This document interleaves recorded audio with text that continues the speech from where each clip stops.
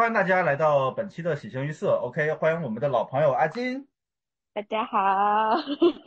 OK OK，呃，我想问一下阿金，现在我们已经聊了两期的哈利波特了，呃，你现在的感受是怎么样的？没有没有，我其实没有太多感受，因为我几乎几乎每一个时刻都在跟朋友谈哈利波特，就是我身边的人。我我身边的人，对，就是我是一个就是在生活中遇到很多事情就会立刻联想到哈利波特的一个人，所以我身边的朋友已经听烦了。比如说，你会跟食堂打饭的阿姨说你喜欢赫敏还是罗恩？给我一份青椒炒肉，这样。对，我我会想为什么为什么我不能打一个响指，我的饭就自动跳到我的饭盒里面去？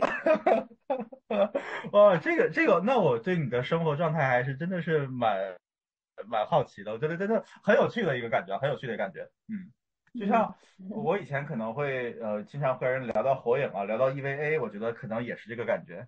嗯，对对，你很容易就从生活中一些别的东西联想到哈利波特。哦，所以。呃，所以，我我先有个呃额外一个的一个问题哈，就是我昨天刚呃前天刚跟别人做节目聊到，就是我们呃成长过程中一些作品对我们的影响，就是比如说我之前也听别的主播可能聊过，就是说呃他觉得他的世界是由呃动漫、游戏还有什么什么构成的啊，比如这个样子。那在我看来，对构成我的可能是比如比如说是好莱坞电影。还有一些日本的小说，还有一些动漫作品，大概是这这样的一些东西。但是呢，呃，但是我昨前天跟我聊那哥们儿，他也说到一个问题，就是说这些艺术作品，呃，到底在多大程度程度上影响了你？其实就像我们刚开始说的，我们人类，呃，怎么可能了解自己的大脑呢？这是挺僭越的一个事情。就是这些艺术作品，它影响了你。OK，表面上好像看到，哦，我通过这个作品看到什么，正像比如说。呃，六十磊磊、读金庸或者什么什么这种一样，但是呢，呃，是否有一种可能，其实是你在现实生活中其实领悟到了很多东西，你见到的这些人，你看到了什么事儿，你或者你听到谁说的什么道理，或者自己顿悟什么样，然后你用这些现实生活中得到的一些技能，你再去分析那些作品，所以到底是谁先影响的你？这个其实是很难说的，到底是现实影响了你，还是作品影响了你？但是但是前天我们聊的可能是说两个相互。都会融合嘛，都会一起影响你，他们是一个共生的作用。你可能一边需要看作品，一边需要经经历现实的生活。但问题就是说，好像我们永远也没办法真正真正的去摸索到到底它的百分比是多少，就是没办法做到很精确的度量衡这个事儿。这个跟你接触到这部作品的契机有关系，就是你是在一个什么样的状态下遇到了这部作品，就是嗯。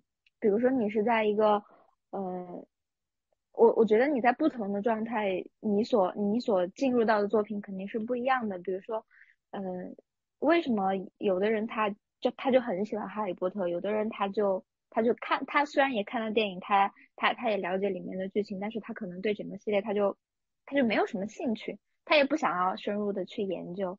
就可能，比如说像我为什么喜欢哈利波特，我就觉得就是因为小时候我太无聊了，没有什么好玩的东西，身边也没有，也也我我家里面的人也不让我看电视，然后我也不能玩电子产品，我唯一我唯一的爱好就是看，我唯一能能够做的，然后又能让我家里面的人就是呃不会骂我的行为就是看书，然后我看到了哈利波特，就他给我带来了一种可以填补生活中空虚的这样一个契机。哦，棒棒棒，了解了解，对，这你讲的这个契机是是确实很重要。你什么时候接触到它，这个真的是我觉得非常非常重要，非常非常重要。对我我可能觉得很多电影我都觉得我看的可能是太早了。我我现在其实有点觉得，我看他们的时候我没有感受到很深的感受。但我现在回过头，如果再看一遍，可能是马上都会不一样。但是因为我第一遍的印象已经形成了，所以其实是有点遗憾的这个事儿。我看的有点早。啊，所以所以我们多看几遍《哈利波特》也没有关系嘛。哎，好，对嘛，对嘛，对嘛。啊，那我们这样今天聊到终局啊，就是从霍雪。王子到死亡圣器的的一个作品，我们就一开始就先放大招吧，先放大招怎么样？来来了我们的 核心人物斯内普老师。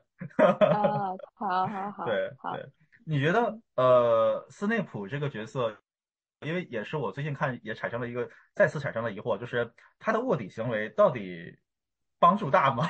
有什么用？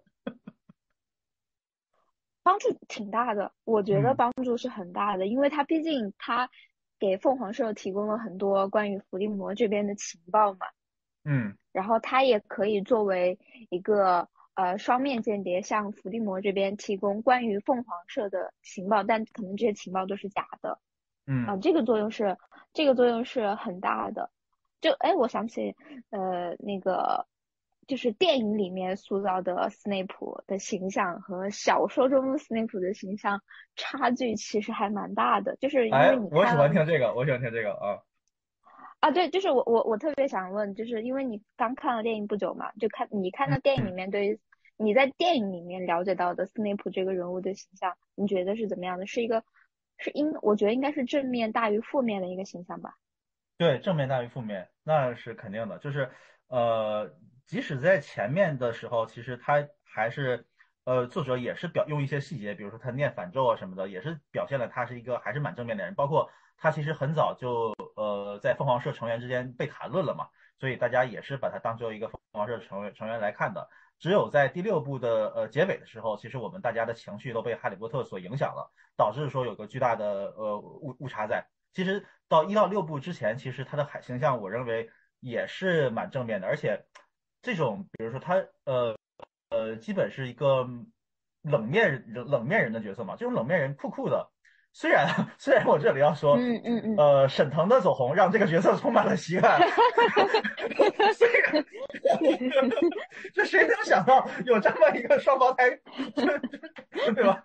哎呀，真的很很搞笑这个。但他仍然是一个比较呃这种酷酷的角色，我觉得历来还是受人喜欢的。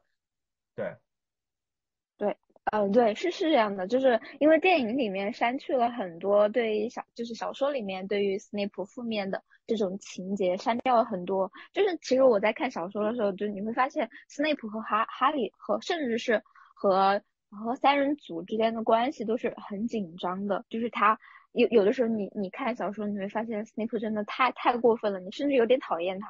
就在在在整个。就是关于斯内普这个人物，所有的东西在被揭开之前，你是你你会觉得这个老师有点太讨厌了，因为他他经常动不动就打零分啊，然后无视赫敏啊，而且因为哦，因为我我对他他可能斯内普本人他是有一点倾向于纯血纯血的这种信仰的，虽然说他嗯并并没有很很很讨厌麻瓜，但是可能从小他。他生活的成长的经历让他是比较倾向于纯血的，所以他非常非常就是不屑去理睬赫敏，就是经常在课堂上无视他，然后在魔药课上，只要 Harry 做错了什么，就会立马给他打零分。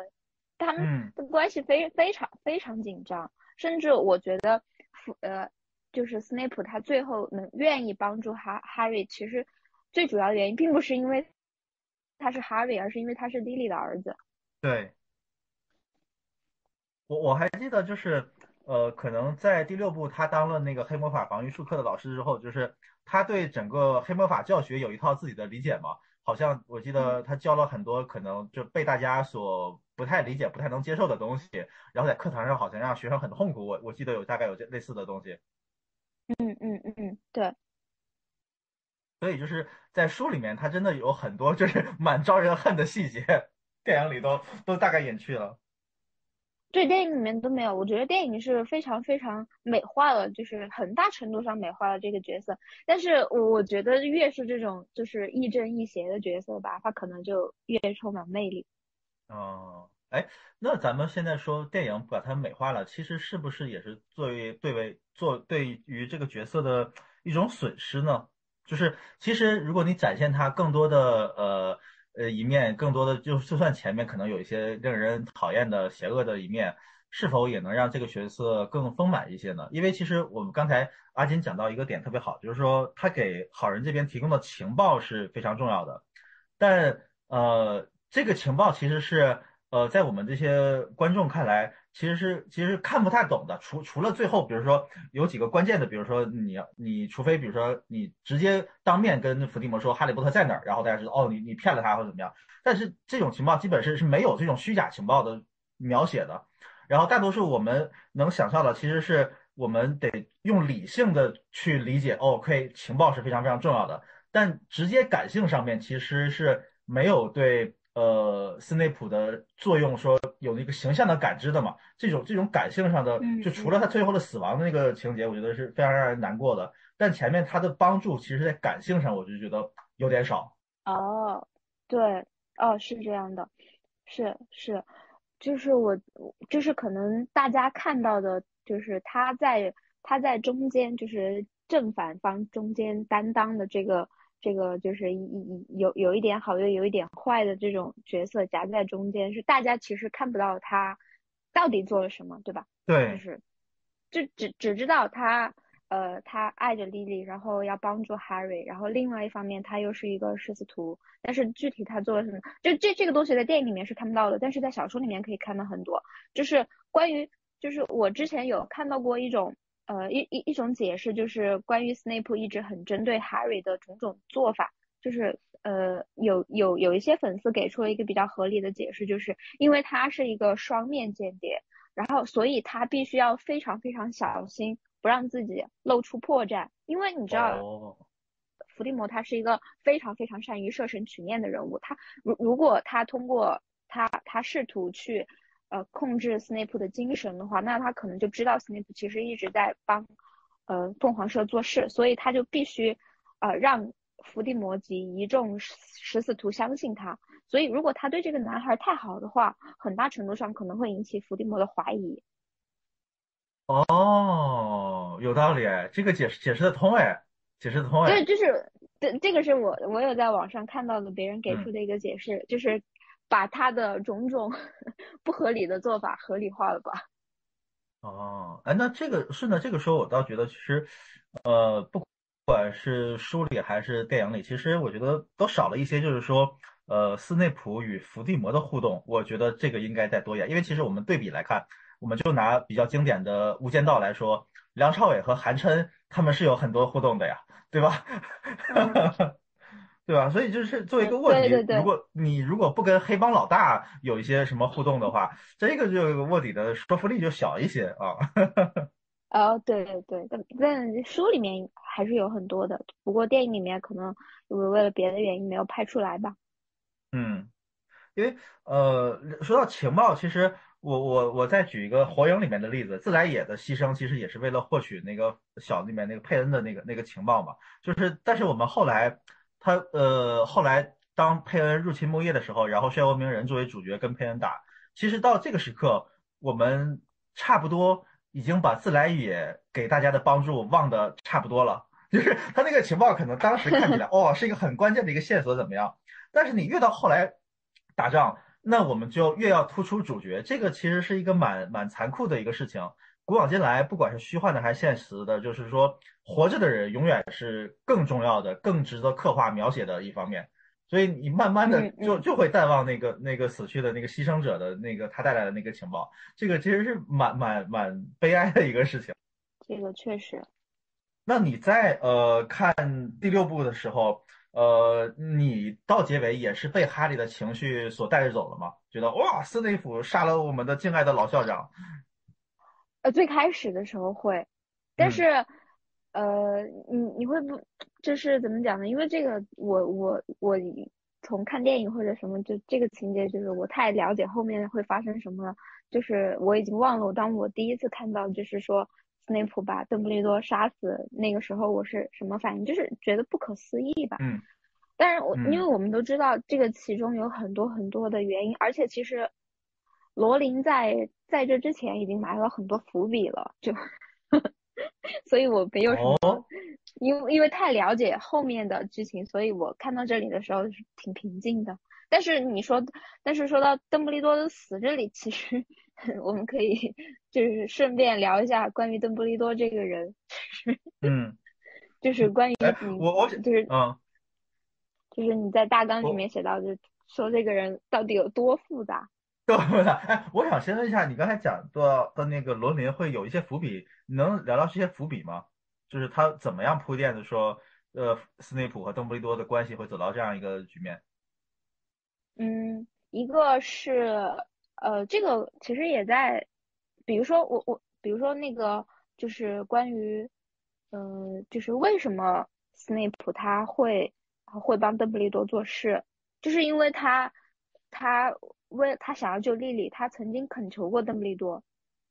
哦，对，这个这个这个应该是在电影的最后，呃，Harry 看到了他的那个，嗯。回回忆的时候，我们才知道。但是这个对，但是关于关于 Snape，哎，我想一想，就是在很很就是在这个小说大结局没有出来之前，我我有在网上看到很很多人的分析，就是说，呃，因为大家都知道 Snape 跟莉莉之间的关系，所以猜测 Snape 可能会为了救莉莉而而选择呃为邓布利多做事。这个是很容易很容易就猜到的，因为。因因为你从前面的几个，比如说他第一步他为什么要救 Harry，他为什么要念那个反咒，对吧？他他他为什么要要要去质问奇洛教授，让他不要不要轻举妄动，对吧？他前面其实有很多很多的，就是去帮助 Harry 的一些做做法。虽然说他看起来是一个啊很很冷酷的，呃很不屑的一个人，但是你会发现他在很多。Harry 遇到危险的时候，他都有站出来。比如说，呃，我我们看到三人组在逃亡的时候，前来就 Harry，他去，他不是跳到那个湖里面去拿，呃，看到的那个格兰芬多宝剑吗？格兰芬多。然后，对，然后他那个当时引导他去找格兰芬多宝剑的那那那那只那只聘鹿，那只聘鹿其实就是 Snape，就是 Snape 的鹿。Snape，的所以你会发现他，我我们可可以很很容易的就发现，其实 Snape 他他他跟邓布利多，他就是邓布利多这边的人，他就是一个很很一个卧底，可以这么说吧。哦，哎，那你真的是这这方面，我觉得你蛮成熟的哎，就是就是你 你好像领先于同龄的我很多，真的。不是，不 不是，是因为我。看看看看看看的太太早了，哎，我我分享一下我在看那个《混血王子》的原著的时候的感受，就是说，我一直以为到最后，呃，哈利波特会追上斯内普，给他一顿暴踩，一顿暴踩。不，他打不，他打不过，他打不过斯内普的。对呀，打不过。但我寻思，你到，因为每一部的结局，咱都是正义战胜邪恶嘛。我当时就寻思。那哈利波特也许就迸发出了巨大的能量，还是怎么样，或者是怎么样？你结果，但是结果这个是非常让我意外的，我不知道让不让别人意外，反正让我意外，就是哎，就斯内普反正是说，啊，你竟敢用你我发明的魔咒来对付我，你给你也太幼稚了，太天真了，你也太太小菜一碟了。然后那一刻，哈利内心是绝望的。我能深深到共情到哈利的绝望，就是说，你你相当于邓布利多是他的再生父母嘛？你面对一个杀父仇人的时候，然后被仇人所就是轻而易举的击碎了你的一切魔法，然后仇人，而且关键是仇人都不屌你，仇人就走了，拿你就当马蝼蚁一样，就不理睬你，对吧？就像 这个太欺欺负人，太侮辱人了。就是就是哈里虽然没受什么伤。但是他这个侮辱性极大，伤害性不强，但侮辱性极大。哦，对对对对对，就是反正侮侮辱 Harry 就是 Snape 的一大爱好。对对对，所以我看到那个结尾的时候，我的好气啊！我当时我们跟同学们一起讨论，也是觉得哇，这个也太坏了，这个这个结结尾太让人绝望了，太绝望了。包括后来的那个呃挂坠也是假的，这个结尾整个是太压抑了，没见过这么压抑的一个儿童作品。到到到第六部就应该不算是儿童作品了吧？对对对，不算是儿童作品了。对，到第六部应该不算了。所以你看的那个时候，你还是非常镇定的。你到那个阶段，非常镇定。呃，也也没有非常镇定吧。就是其实我我觉得，为什么我我一直一直不太理解，就就原来看的时候就不理解为什么邓布利多要死。因为你想想，邓布利多死了，凤凰社就没有精神支柱了呀。然后就没有人保护 Harry 了呀，就你你想想不明白，但是因为那个时候我一直就是 跟我身边，我身边有太多就是研究哈利波特的同学，他们就开始开始纷纷的就是去讨论，就是说关于邓布利多死之前的种种伏笔啊，巴拉巴拉的，关于为什么是 Snape 杀了邓布利多，就是那个时候我身边就已经充斥着各种各样的猜测了，就你就你就会觉得啊，这个这一切的剧情都是非常合理的，你就渐渐的接受它了。哦，你们同学普遍就是比我们当年 高一个 level，我觉得。哎，而且我我记得当时第六部《混血王子》出来的时候，是小说出来的时候吧？然后那个时候大家就在猜 R A B 到底是谁。对。然后那个时候其实很早很早很早就已经有人猜出来 R A B 是谁了，就是就已经有人知道，就他就是雷古德斯布莱克。哦，对啊，因因为因因为嗯嗯。你说我我们当时好像没有人猜得出来，没有人。其实我发现罗琳他一贯有一个习惯，就是他所有的这种悬疑的谜底，他都会在前文里面无数次的不经意的提到他。嗯，R A B 的名字其实在前文里面已经出现过，而且出现过不止一次。就是呃，应该最。最最最显眼的一次，应该是在小天狼星的家里面。他们家有那个家里面，小天狼星在跟哈瑞介绍他的家族树的时候，嗯，小天狼星提到过我的弟弟雷古罗斯布莱克，然后他已经他已经他已经死了，但是不知道他怎么死的。而且在在小说里面前文很多地方其实都呃都不不经意间的提到过 R A B 到底是谁，也当但没有说是 R A B，就不经意间提到过雷古罗斯这个名字。哦，哦，所以，嗯，咱们从这个角度来看的话，第六部它它这个谜题设计的其实还是蛮 OK 的，就是嗯蛮蛮就是合理性，我觉得是是是 OK 的，就是既给一些人留个悬念，又给这些很能分析的人留下了足够的线索。对对。哦，啊，那那让我对罗琳又高看了一眼，因为当时我是觉得。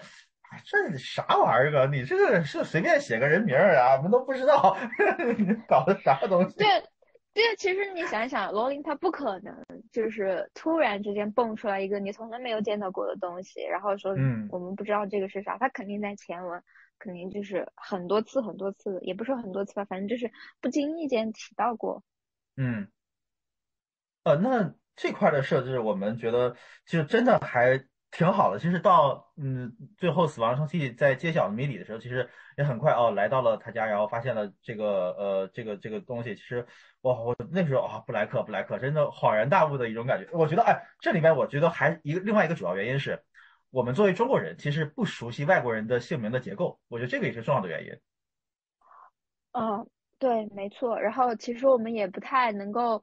就我是，所以我觉得英文好的朋友可以去看原著，就是里面有非罗琳这个人，他非常擅长玩弄 人，玩弄词 汇，真的，他真的，他他里面每每一个角色的取名，每一个角色每一个东西的名字，他都是有很多来源的，就这个分析在网上很多，包括像什么赫敏的名字啊，就是麦格教授的名字呀，还有包括他，包括嗯，Harry 在三强争霸赛的时候。呃，它其实里面有一个关卡是，呃，猜一个谜底，然后那个谜底也是一个就是词汇游戏，就看小说看原文一下你一下就能领领会到，但是如果看看中文版或者是你看中文版的电影，你可能就没有那么快去去去感受到那种语言的魅力。哦，哎，三强争霸赛不是我记得一个是打龙，一个是下水救人，一个是看那个呃球上的显显上的。给他一个球，对吧？金色飞贼还是什么？呃，给了他一个金蛋，那个金蛋里面就是解开黑湖，就他们第二关是在湖底下救救救自己的好朋友嘛。第三关是在迷宫里面，对吧？就是在迷宫里面，在迷宫里面有一个关卡是猜谜语，就是他遇到了一只蜘蛛，应该是是蜘蛛吧。然后那个蜘蛛给了他一个给给了他一个谜面，然后他需要通过那个谜面去去猜。谜底是什么？如果你猜到了，你就可以顺利通过这条路，然后呃拿到火焰杯。如果你猜错了，那你就你就会被蜘蛛攻击。哦，这个我我记得有这个情节，但电影里没有，电影里删掉了。对，电影把这一节删掉了，可能是蜘蛛这个特效不太好做吧。哦，我就记得，因为我记得有一个类似于像什么斯芬克斯之谜的一个东西拦在了。我记得我看《火焰杯》前还我重看的时候还想能不能有这个东西。哦，后来发现可能是我记错了。啊，你这么一说，啊，那真的是有这个情节，看来是。对，有有这个情节，而且罗琳他包括。在最后，就是双胞胎他们不是死了一个嘛，就是乔治和弗雷呃弗雷德。然后其实这个死亡也是有预告，也也是也是有预兆的，就是罗琳他在前面埋了一个伏笔，但是这个伏笔是是非常非常小的一个一个词汇上面的变动，就是通过这个就是通过这个语言上用词的一些不同来预示你呃双胞胎之中可能会有一个会死亡，就是这些东西都是。语言上面非常非常微妙的东西，这个得你你就是真的非常非常，呃，能够能够理解英文的同学可能才可以看到。就我觉得，但是少了这些东西，你嗯也也不影响你去理解整个。哇，那真的很高级，真的很高级，真的很高级。对，我们再说回第六部这个这个作品的悬疑性来。呃，那它的结尾当然是有很好的悬疑感，但前面其实我觉得一个呃很很反常的东西是，前面他最初的怀疑对象马尔福竟然就是最后的凶手。我以为我以为，因为前面的惯常都是怀疑错了嘛，包括前几部怀疑错了人，结果不是他，或者是有另外一批人，但这他为什么第六部就一上来就把直接把凶手告诉你就是马尔福呢？你觉得这个是怎么样一个考虑？嗯，我觉得第一个是。呃，让大家觉得马尔福这个人很笨吧，就是，就是就是因为他要为我，我觉得把马尔福亮出来是为了，呃，为为了为为另外一条线铺设一个铺铺铺设一个伏笔，因为我们知道就是呃，伏地魔向马尔福下达了一个任务，就是让马尔福杀死邓布利多，对吧？但是呃，邓布利多肯定是不会让马尔福动手的，他是会。他他是和斯内普商量好了，让斯内普动手。但是为什么邓布利多要选择死亡，而且一定要斯内普来动手呢？这又是一个谜，这又是一条，这又是一条在之后才可以知道的问题，对吧？它其实是一一环套一环的，所以你所以就必须要要把马尔福这个东西，就是马尔福这件事情放在放在一个明面上，大家立马就猜测到，把所有的焦点集中在马尔福的身上。嗯，这个因为。他中间有一个特别笨拙的什么呃送毒酒啦，什么送一个文件啊，这样的特别笨拙，真的让人发笑。这个马尔福，对，就是你你觉得他，我就是可能是就就是我也不懂为什么伏地魔要把这样一个任务交给马尔福的，就就是呃，而且他交代的时候就好像他没告诉他们好的计策一样，就是我们可以理解的是那。你因为他已经呃校园被保卫起来，你外人是进不来的。OK，你只能由一个校园内的人动手，但是你动手的方式可不可以稍微用点脑子？突然是那种感觉。对，也也有可能是伏地魔想要考验他吧，因为伏地魔觉得我身边的猪队友已经太多了。哦，哎，那为什么没让伏地魔没有直接选择让斯内普动手呢？按理说这里面法力最强的肯定是斯内普嘛。因为他想要，因因为那个时候可能是因为斯内普在学校里面还有一定的话语权，而而伏地魔想要控制整个霍格沃兹，那就必须要有一个有有权力的人留在这儿。而哦，对对对，对吧？对对对，他第七部当校长了，哎，当校长了。对他，他第七部当当当上了校长，在邓布利多去世之后，他就是校长了。然后这个时候，伏地魔就基本上就属于正大光明的，就控制了整个霍格沃兹。哦，对，没错，没错，没错，这个还是蛮蛮有意思的。然后第七部的时候，我们之前已经呃聊过那个麦格使用的那个，我很期待的那个，一直想使用这个咒语，然后保卫学校，那个那段也蛮帅的。然后。那个那段让人看起来斯内普似乎，呃，在麦格面前不堪一击的样子。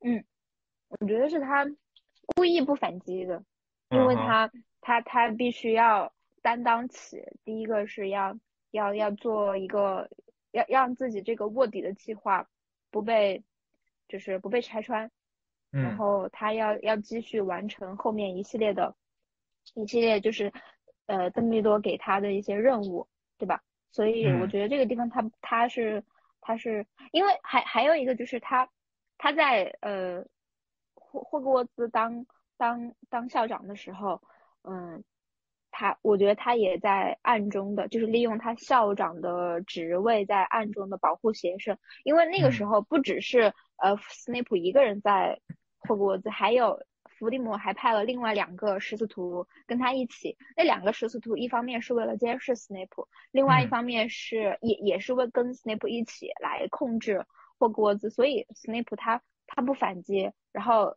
呃利用他校长的职位去保护学生，并且限制就是那对那对食死徒就是叫卡罗兄妹，限制哦他们的行为。对，哦，这个真的是还蛮细致的，蛮严谨的。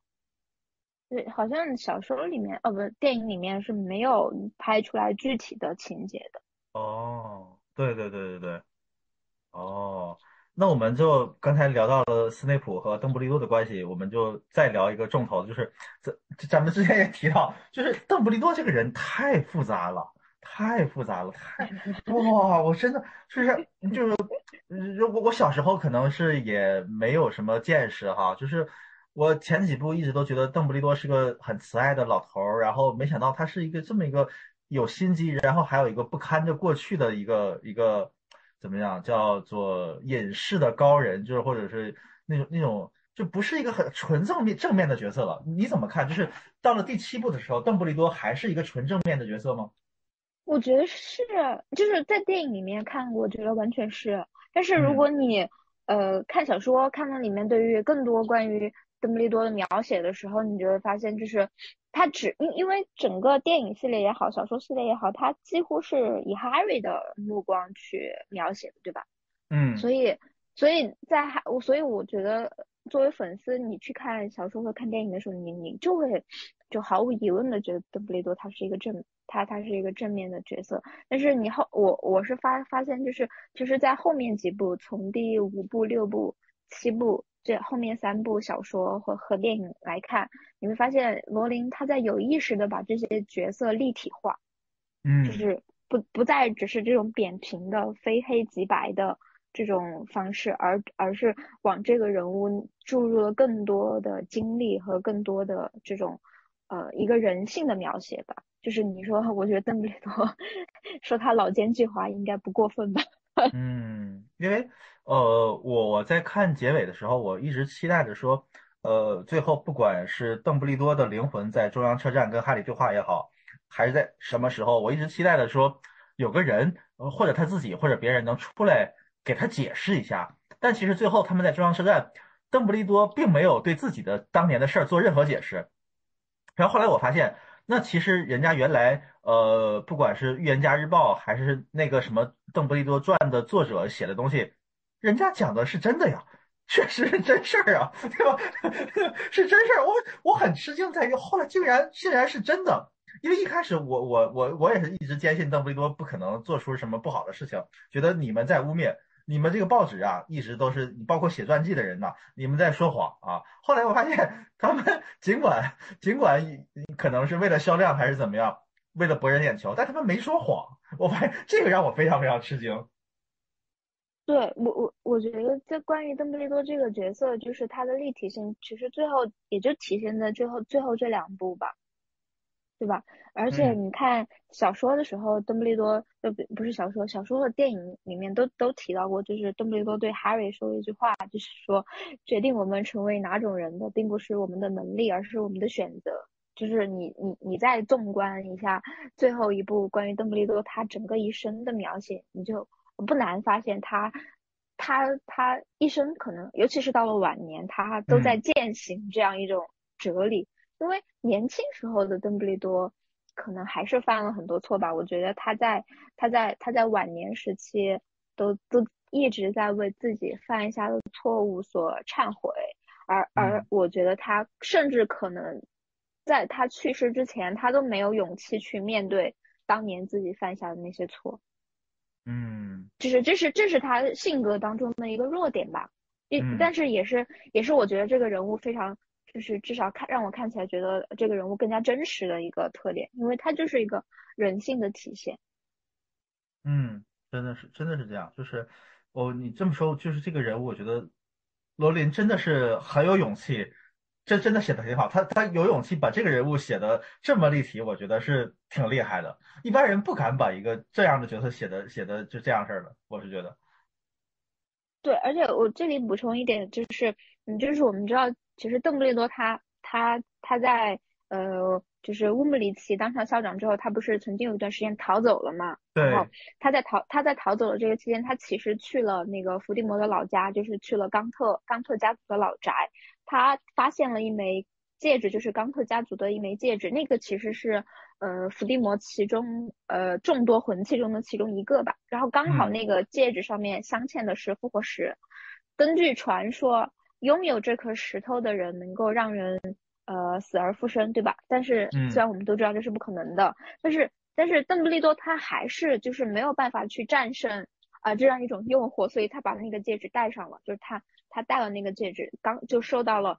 伏地魔施施在这个戒指上的恶咒，然后这个诅咒上面就是这个诅咒是绝对会要邓布利多性命的。虽然说，呃，以邓布利多的法力，他可以控制这个恶咒的起效时间，所以他才会要求呃斯内普杀死他，因为他知道他没有办法彻底的阻碍这个诅咒蔓延自己的全身。所以，所以当斯内普反对邓布利多的时候，邓布利多对斯内普说了一句话，他说。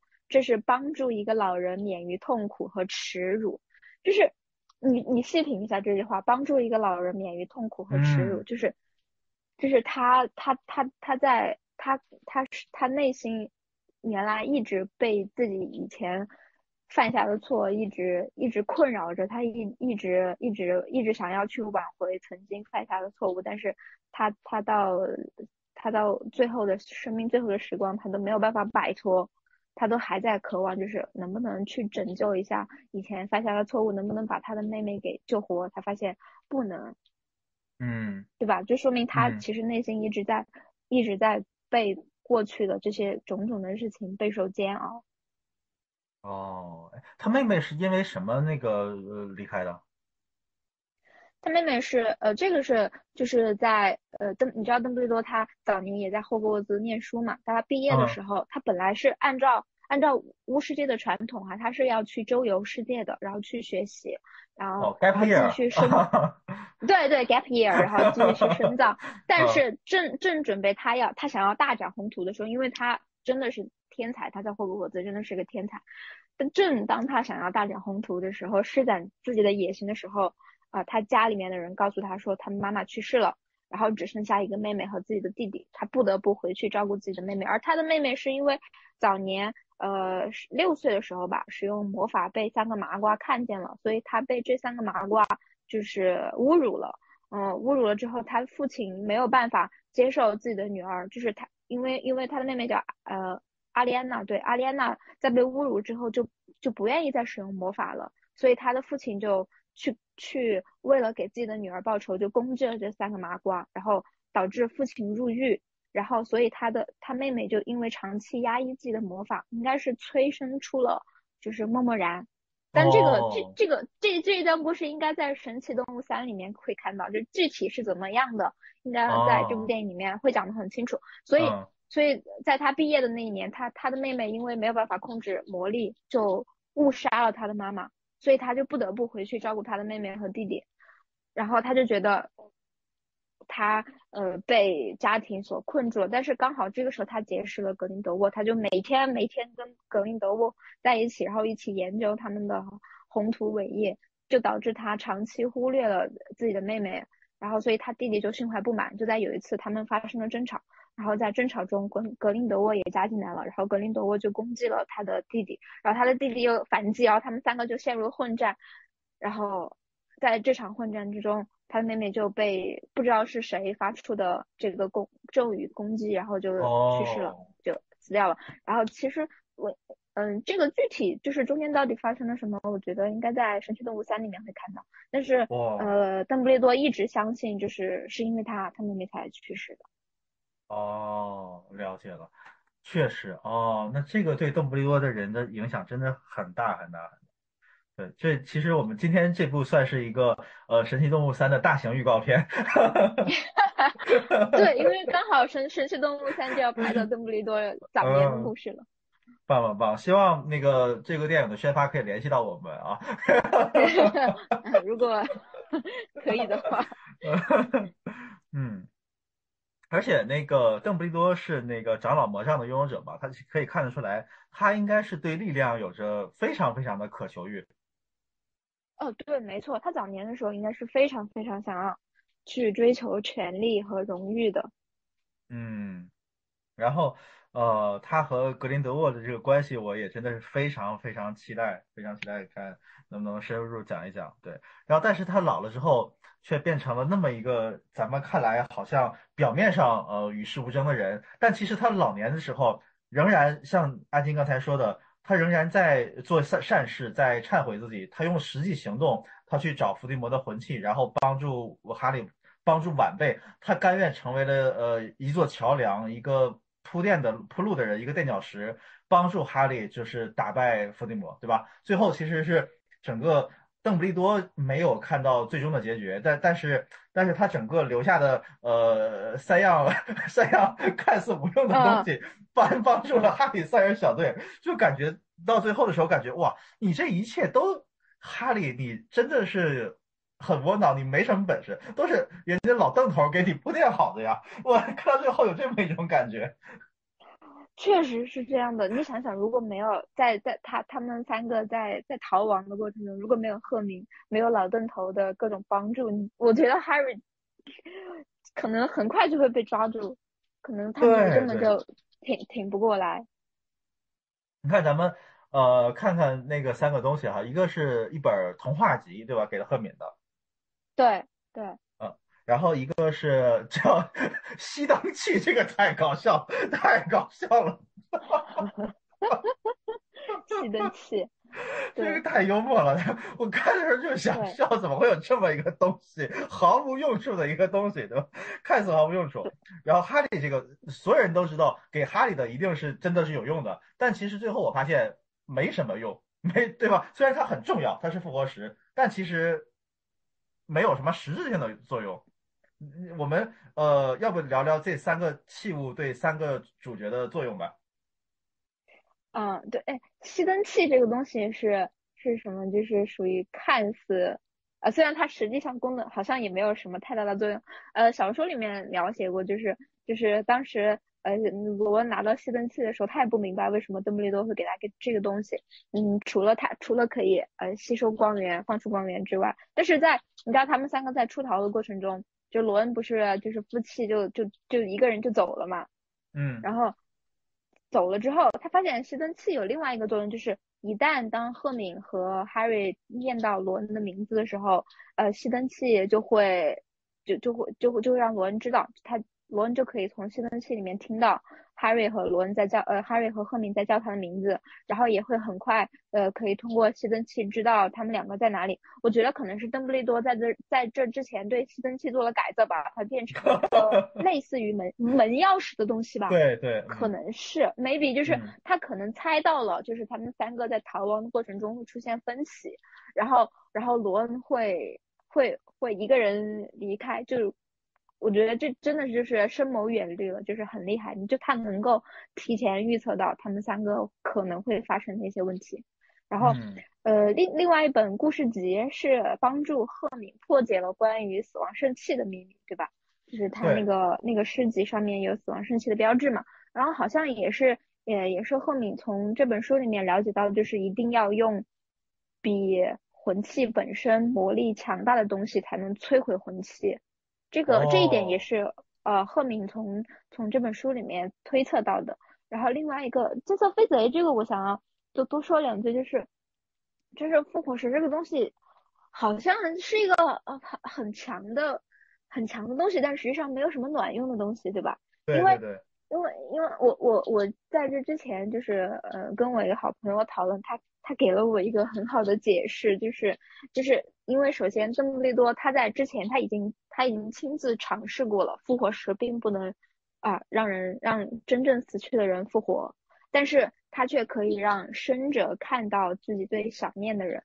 然后，邓布利多也已经猜到，就是要杀死伏地魔，就必须清除掉所有的魂器，而 Harry 正是其中一个魂器，所以他做了一个最坏的打算，就是让 Harry 去赴死。而在 Harry 赴死的时候，复活石会让他看见那些。啊，深爱着或者是 Harry 也深深爱着的人，就他的父母，他的小呃小天王星，所以复活石最大的作用就是给 Harry 勇气。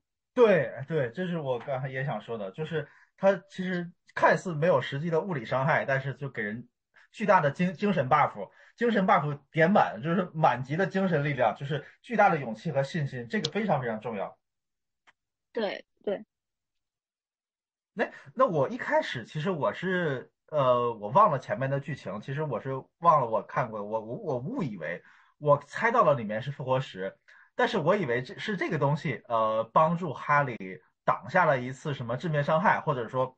那咱们都知道哈哈利有假死嘛，对吧？还然后海格抱着他走回来。呃，我一开始是这样猜想的，我以为哦，哈利可能提前把复活石握在了手里，然后好，这样你打我一次，我有第二条命啊，我有第二条命。但竟然不是这样的。对，因为因为这个时候老魔杖的真正归属者是哈利嘛，就是魔杖是不可能攻击自己的主人的，魔杖只会攻击主人以外的人。所以这个时候，呃，老魔杖归属于哈利，所以在伏地魔他他用那个。呃，杀戮咒的时候，那个杀戮咒其实是攻击到了他自己的灵魂。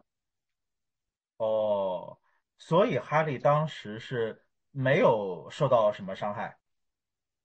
对，没有受到伤害，真正受到伤害的是哈哈利体内伏地伏地魔的那一片灵魂，而不是受到伤害抵消了，没有抵消什么事儿。对，不是你想想，如如果如果复活是有有有有这个功能。那那我我觉得肯定魔法魔法界很多人都要都都想要拥有它。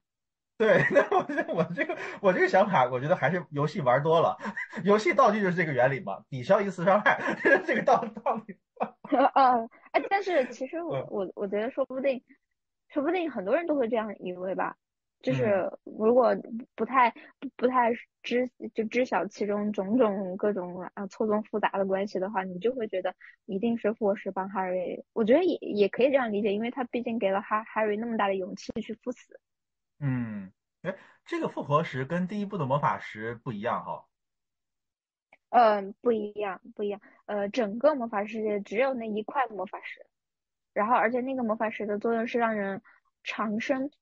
长生不老，哦，然后可以点石，可以可以点石成金，对，哦，作用不一样哦，哦，理解。我一个，我记得我刚开始看的时候，可能把他们混淆了，我以为是第一部那个留了下来。哦哦，没有，那个那个东西在第一部之后就被摧毁了。哎，其实这个地方涉及到一个翻译的问题，就是我们叫魔法师嘛，它它原本应该叫哲人之石，它叫 philosopher's stone，就是哲人之石。或者叫贤者之石，或者叫什么？对，这个可能是涉及到一个翻译的问题吧。哦，那我觉得这个翻译对这个电影票房应该有巨大的提升作用。你想，谁会看一个哲人之石？人家以为是一个什么片子？魔法两个字在这个票房电影标题里是非常非常重要的关键的，对吧？对，一下点出了啊，这是一个跟魔法有关的电影。对啊，对啊，对啊。然后复活石。那个东西，它的结局是被哈利随手扔到了地上，是吗？哎，好像我我忘了，就是最后那个复活石没有，应该哈利把复活石留了下来吧？扔到地上好像没有。我我因为我记得是哈利，就是看完他那几个亲人之后，然后就坚定了信念，然后复活石就是哦哦哦哦，在电影里面，在电影里面，不过他他其实是他其实是一直握着那颗石头的。哦。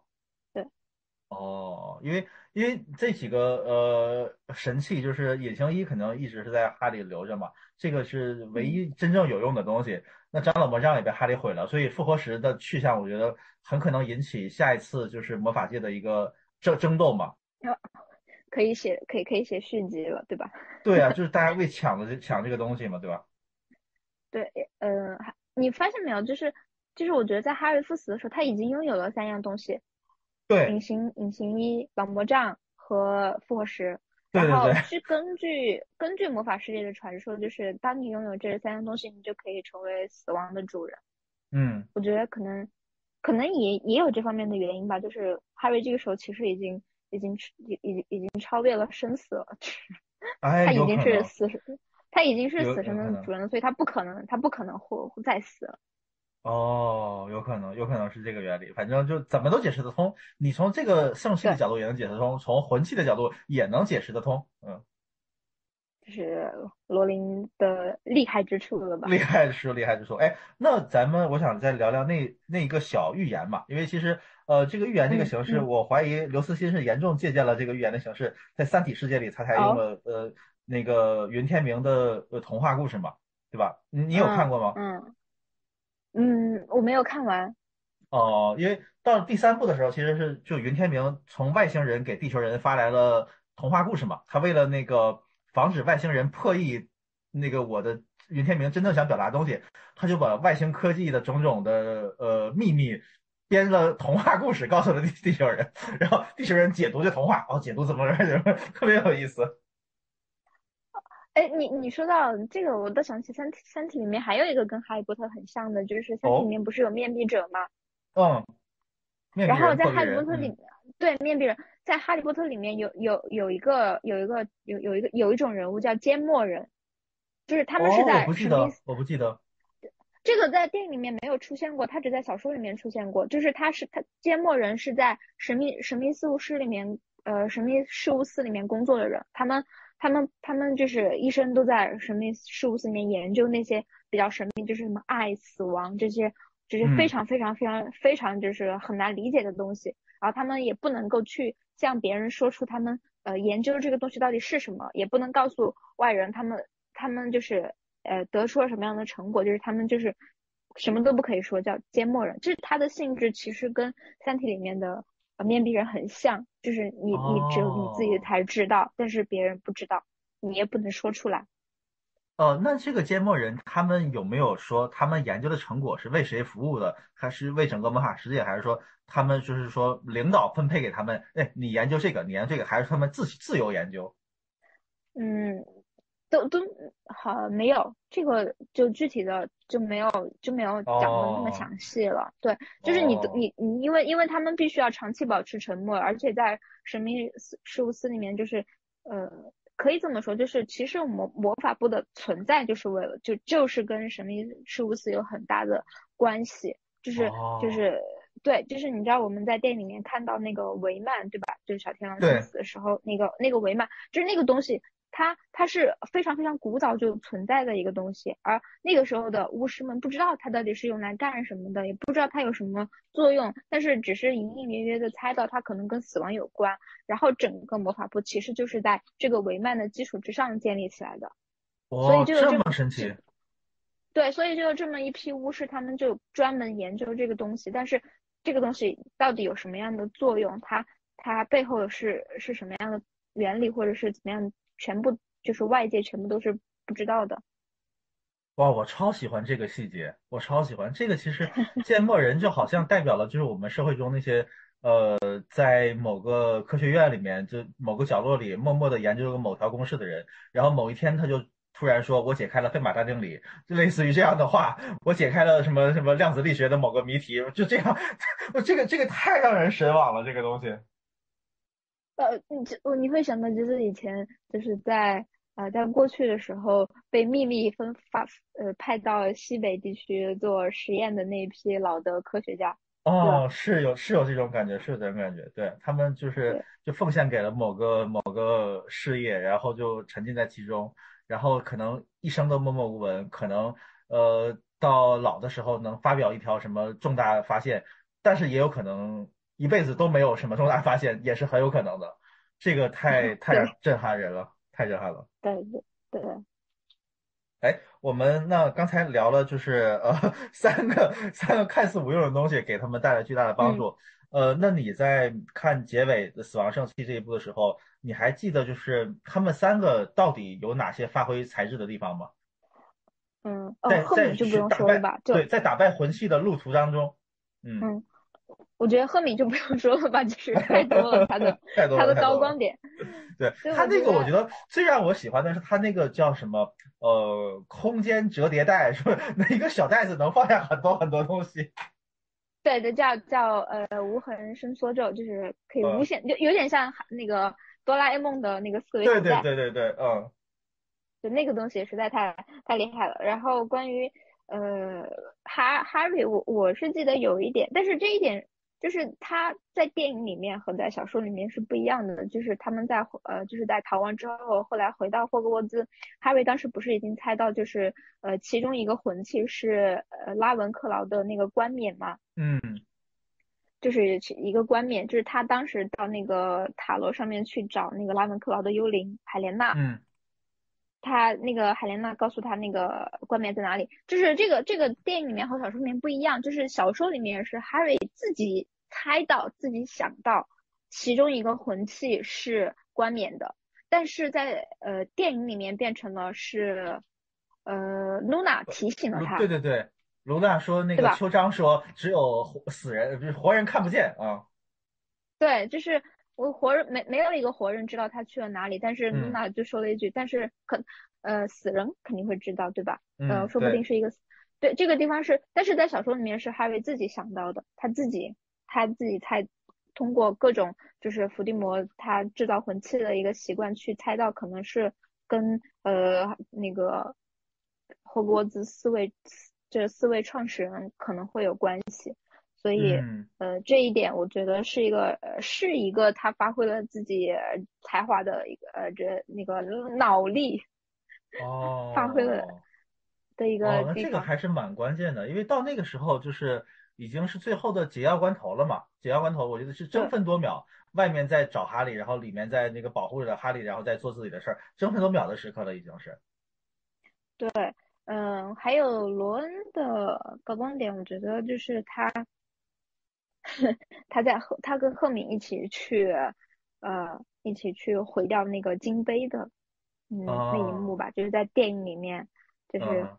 他模仿，我觉得最搞笑的是在他在电影里面模仿 Harry 说那个蛇老枪，然后赫敏一脸惊恐，然后 Harry 经常，Harry 经经常说梦话，我学会了。哦哦，哎，这个这个很厉害，很厉害。我觉得他最高光时刻是和赫敏接吻吧。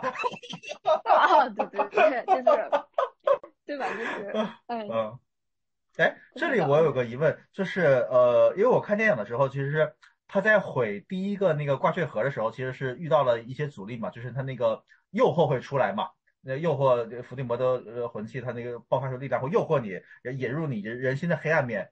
呃，是每一个魂器都会诱惑你吗？因为我在记得在密室里的时候，他用那个呃蛇的毒牙的时候，其实只是电影里只出现了什么水幕啊，还水浪浪东西，但没有具体展现诱惑。是魂器是每个都会诱惑，还是有的不会？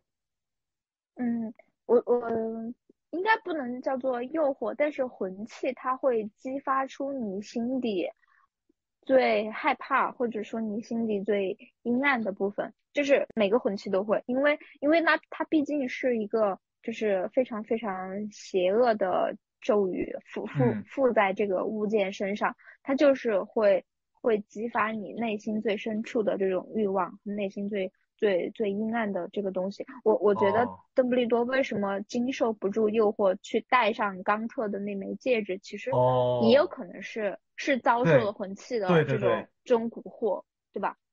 对对对，蛊惑，蛊惑这个词用的好，蛊惑。对，对就是 魂器它都会它都会给给给魂，就是它的持有者造成一定的这种这种嗯怎么说呢，就是就是蛊惑吧，就是它会激发你心里面最最最最深处的这种。我觉得罗恩也是，罗恩也是受到挂坠盒的影响，然后最后自己战胜了它，这个也算是嗯高光点吧。嗯，对，我还记得，就是中间他们慢慢的逃亡路途中，他们三个人轮流戴那个挂坠嘛，其实这个是蛮有意思的，就是每个人戴的时候情绪都会变得暴躁啊。对，而且这一点是赫敏发现的，他太聪明了。哎，那我就其实这里边有个很很无聊的想象，那哈利也作为一个魂器，他是否也能蛊惑别人呢？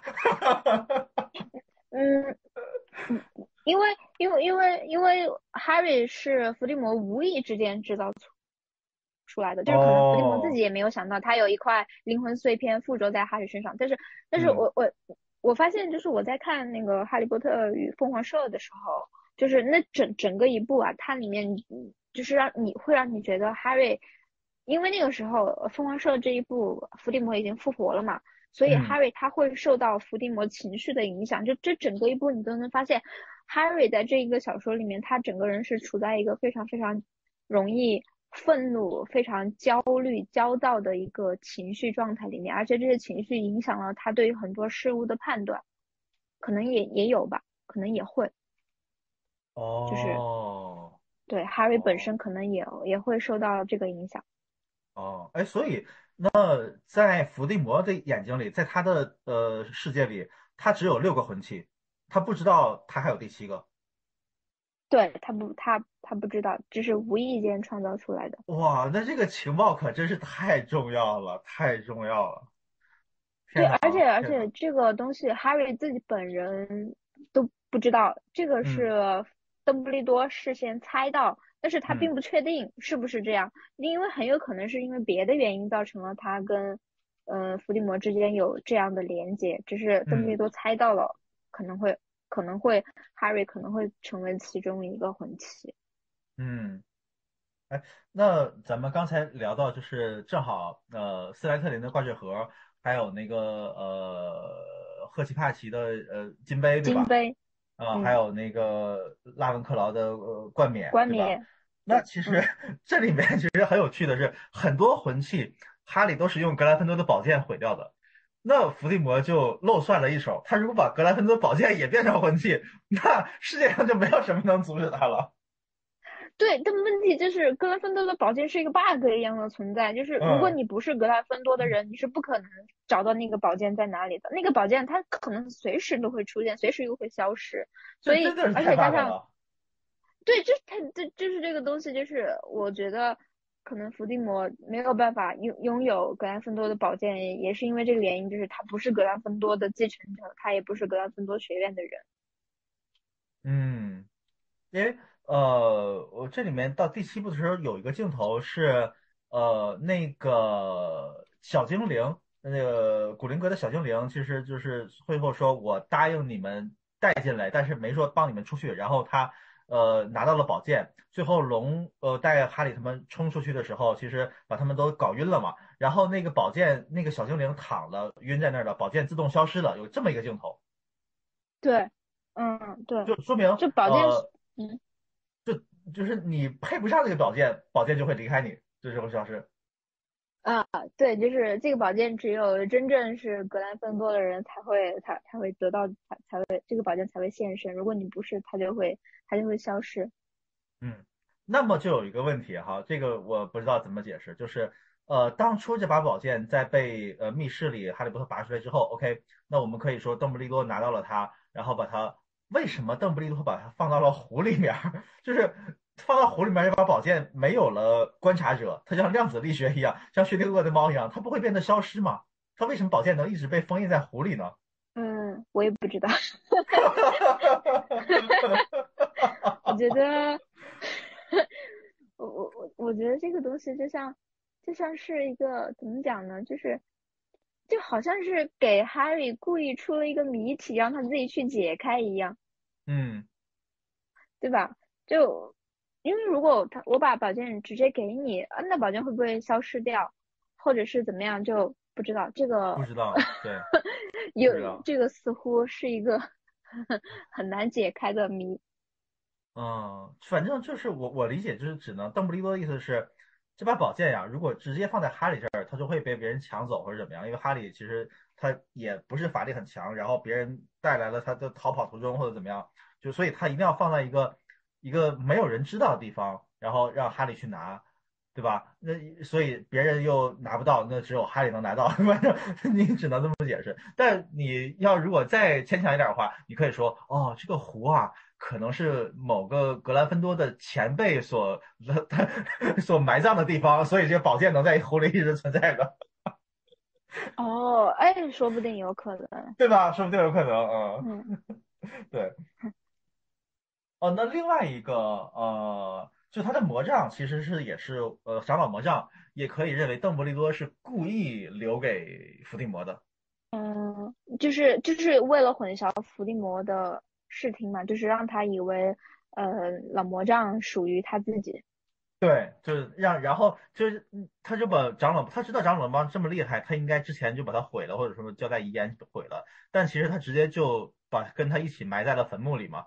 那伏地魔就很简单就拿到了他，对吧？这个其实是伏地魔就是上了一当。对对对。哦，哎，那你觉得呃，他们哈利三人小队在消灭魂器的这个过程中？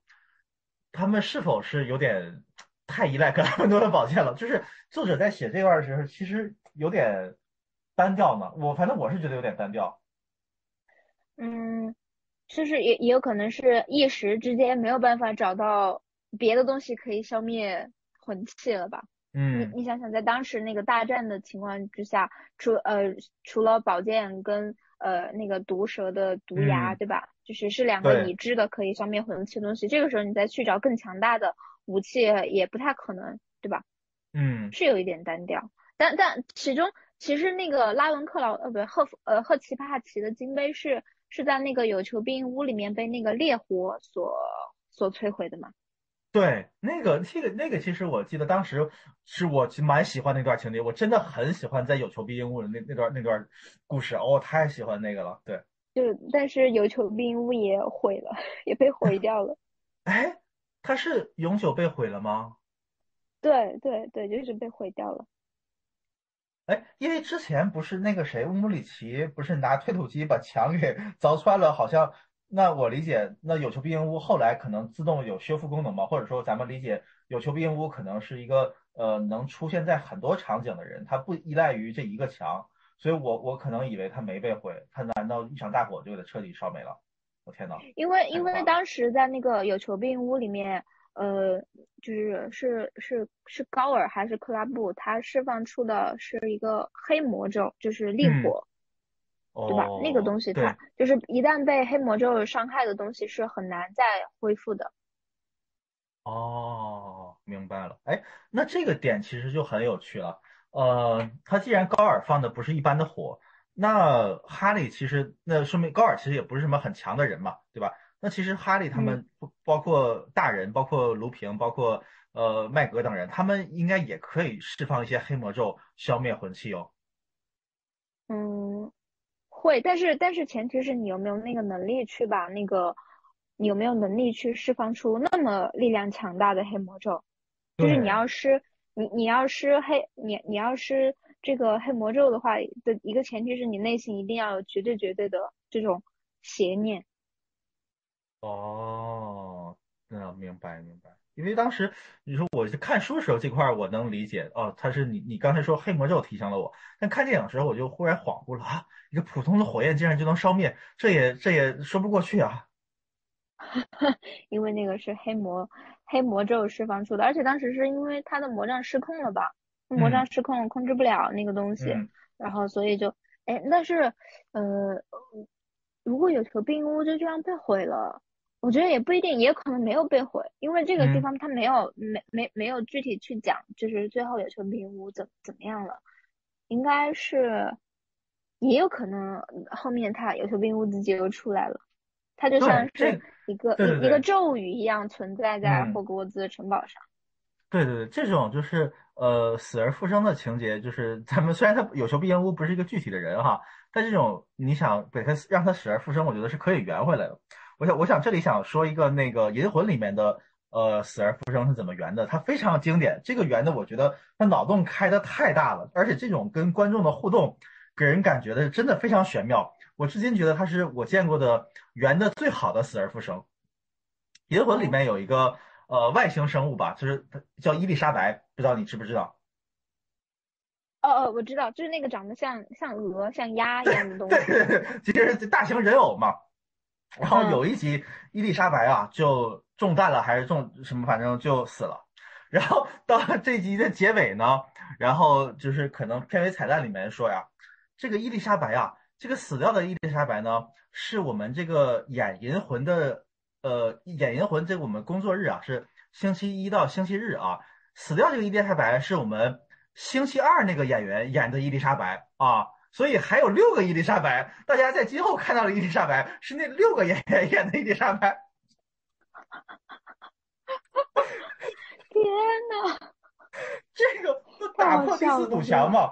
对，直接跟观众对话说，我们演这个戏的时候啊，我们就就相当于演星期二的伊丽莎白那个演员，现在领便当了，回家了啊，结结工资了，但是别人都还在，这个太有意思了。这个这个真的，就是就是谁想出来的？这个真的，我我很佩服想想到这种解释的人。我这个太牛逼，我是没见过敢这么解释的，真的。很有趣，很有趣，很有趣，很有趣。对，所以有求必应，大家也不用担心啊。假如假如如果有后面的故事的话，我相信哈利的儿子、呃闺女、孙子、孙女他们应该也会用到有求必应。我觉得。对对。哎，那我刚才还想到一个，其实呃，他们在消灭魂器的过程中，其实呃，阿金，你之前讲过，呃，麦格等人叫什么？那个叫什么变形？呃，变形的那个能力，对吧？对，阿尼马格斯。呃，阿尼马格斯变动物的能力。那按照比如说咱们呃正常逻辑认知的话，呃，既然既然变动物是一个很高的魔法了，那么变人必然是更难、更高的、更难以学会的。但是这里面复方汤剂却让变人变得非常轻而易举。哦。对吧？对，这个这个有点太 bug 了。我觉得就是他们被，比如说我也很喜欢另一段情节，他们勇闯古灵阁、大闹古灵阁的时候，也是用了复方汤剂。这个东西包括一开始那个呃飞天扫帚开始营救哈利，每个人带一个变形的哈利走的时候，也是用复方汤剂。这个东西的出现次数有点太多了，而且它非真的非常非常好用。对对，复。这个东西，呃，怎么讲呢？第一，首先复方汤剂，呃，这个这个东西它非常非常难制作，就是它其实是需要呃对魔药学比较精通的人，甚至说非常精通的人，才才能够成功的去配置它。然后另外配置复方汤剂也非常的复杂，就是在第二部里面应该说过吧，就是配置复方汤剂需要一个月的时间。而且就是它会，它会根据就是你你在配置过程中的些许的偏差或者误差，它会最终导致这个药的药效可能不会那么的持续。就比如说，呃，一般是一个小时或者两个小时它就失效了。然后可能有一比较厉害的巫师呢，他可能配置出来的复方汤剂可能会长达十个小时、十二个小时都不等。就首先，这这个东西它本身就不是人人都能做出来的，就好像就是你在学校实验室做实验一样，可能你重复好多次，你都不一定能够做出一个成功的实验。然后还有一个是复方汤剂，它只能作用于人类巫师，就是对于像海格这样自带 buff 的人来说，复方复方汤剂是对他来说没有用的，他他也他对他来说是不起作用的，就只有人类才才可能。通过复方汤剂去变成其他人，哦，而且恰好主角们就是他复方汤剂学的很好，对吧？有学霸在，就恰好有赫敏这样的学霸在。然后复方汤剂，呃，可以只他他也只能把你变成另外一个人，然后他他但是他不可以把你变成动物。如果你如如果你误用了的话，就是他他就药效就算。就算过了，你可能也会很难恢复嘛。这个在密室里面就出现过，赫敏不小心变成了一只猫，一个半人半猫的东西。但但是他但但但是但是在药效过了之后，他依旧没有恢复，就是一直在吐毛球。小说里面讲的就是他吐了两个月的毛球。哈哈哈哈哈，蛮有意思的，蛮有意思的。我如果而且你发现没有，我我我突然意识到，就是你发现没有，就是。为什么说为什么伏地魔没有头发？为什么？为什么？防止复方汤剂吗？说不定防止别人偷他的头发，变成他的样子。哦，真的，真的，哦。他 没有头发，这个真的太搞笑了！我突然想到，太搞笑了，这个这个警惕性真的是很高啊。所以他才是历史上最伟大的黑魔法师。哇，他牺牲真的蛮大的。对。哦，太好啊，伏地魔真的是个又没鼻子又没头发，这个这个人真的很好笑。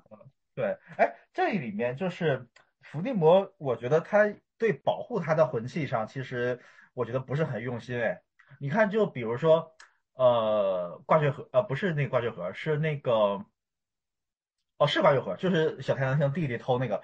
这这个情节真的演了好久，他们从一个地方追到另一个地方，然后那个小偷又带他们去找那个乌姆里奇，最后那个从乌姆里奇上身上偷来了。呃，在这个过程中，我我们可以把乌姆里奇看成一个呃客观的，就是傻不拉几的第三方，其实他他只是单纯的爱美嘛，他不知道这个东西有什么作用。但伏地魔感知不到这个挂坠盒的所在地点吗？嗯。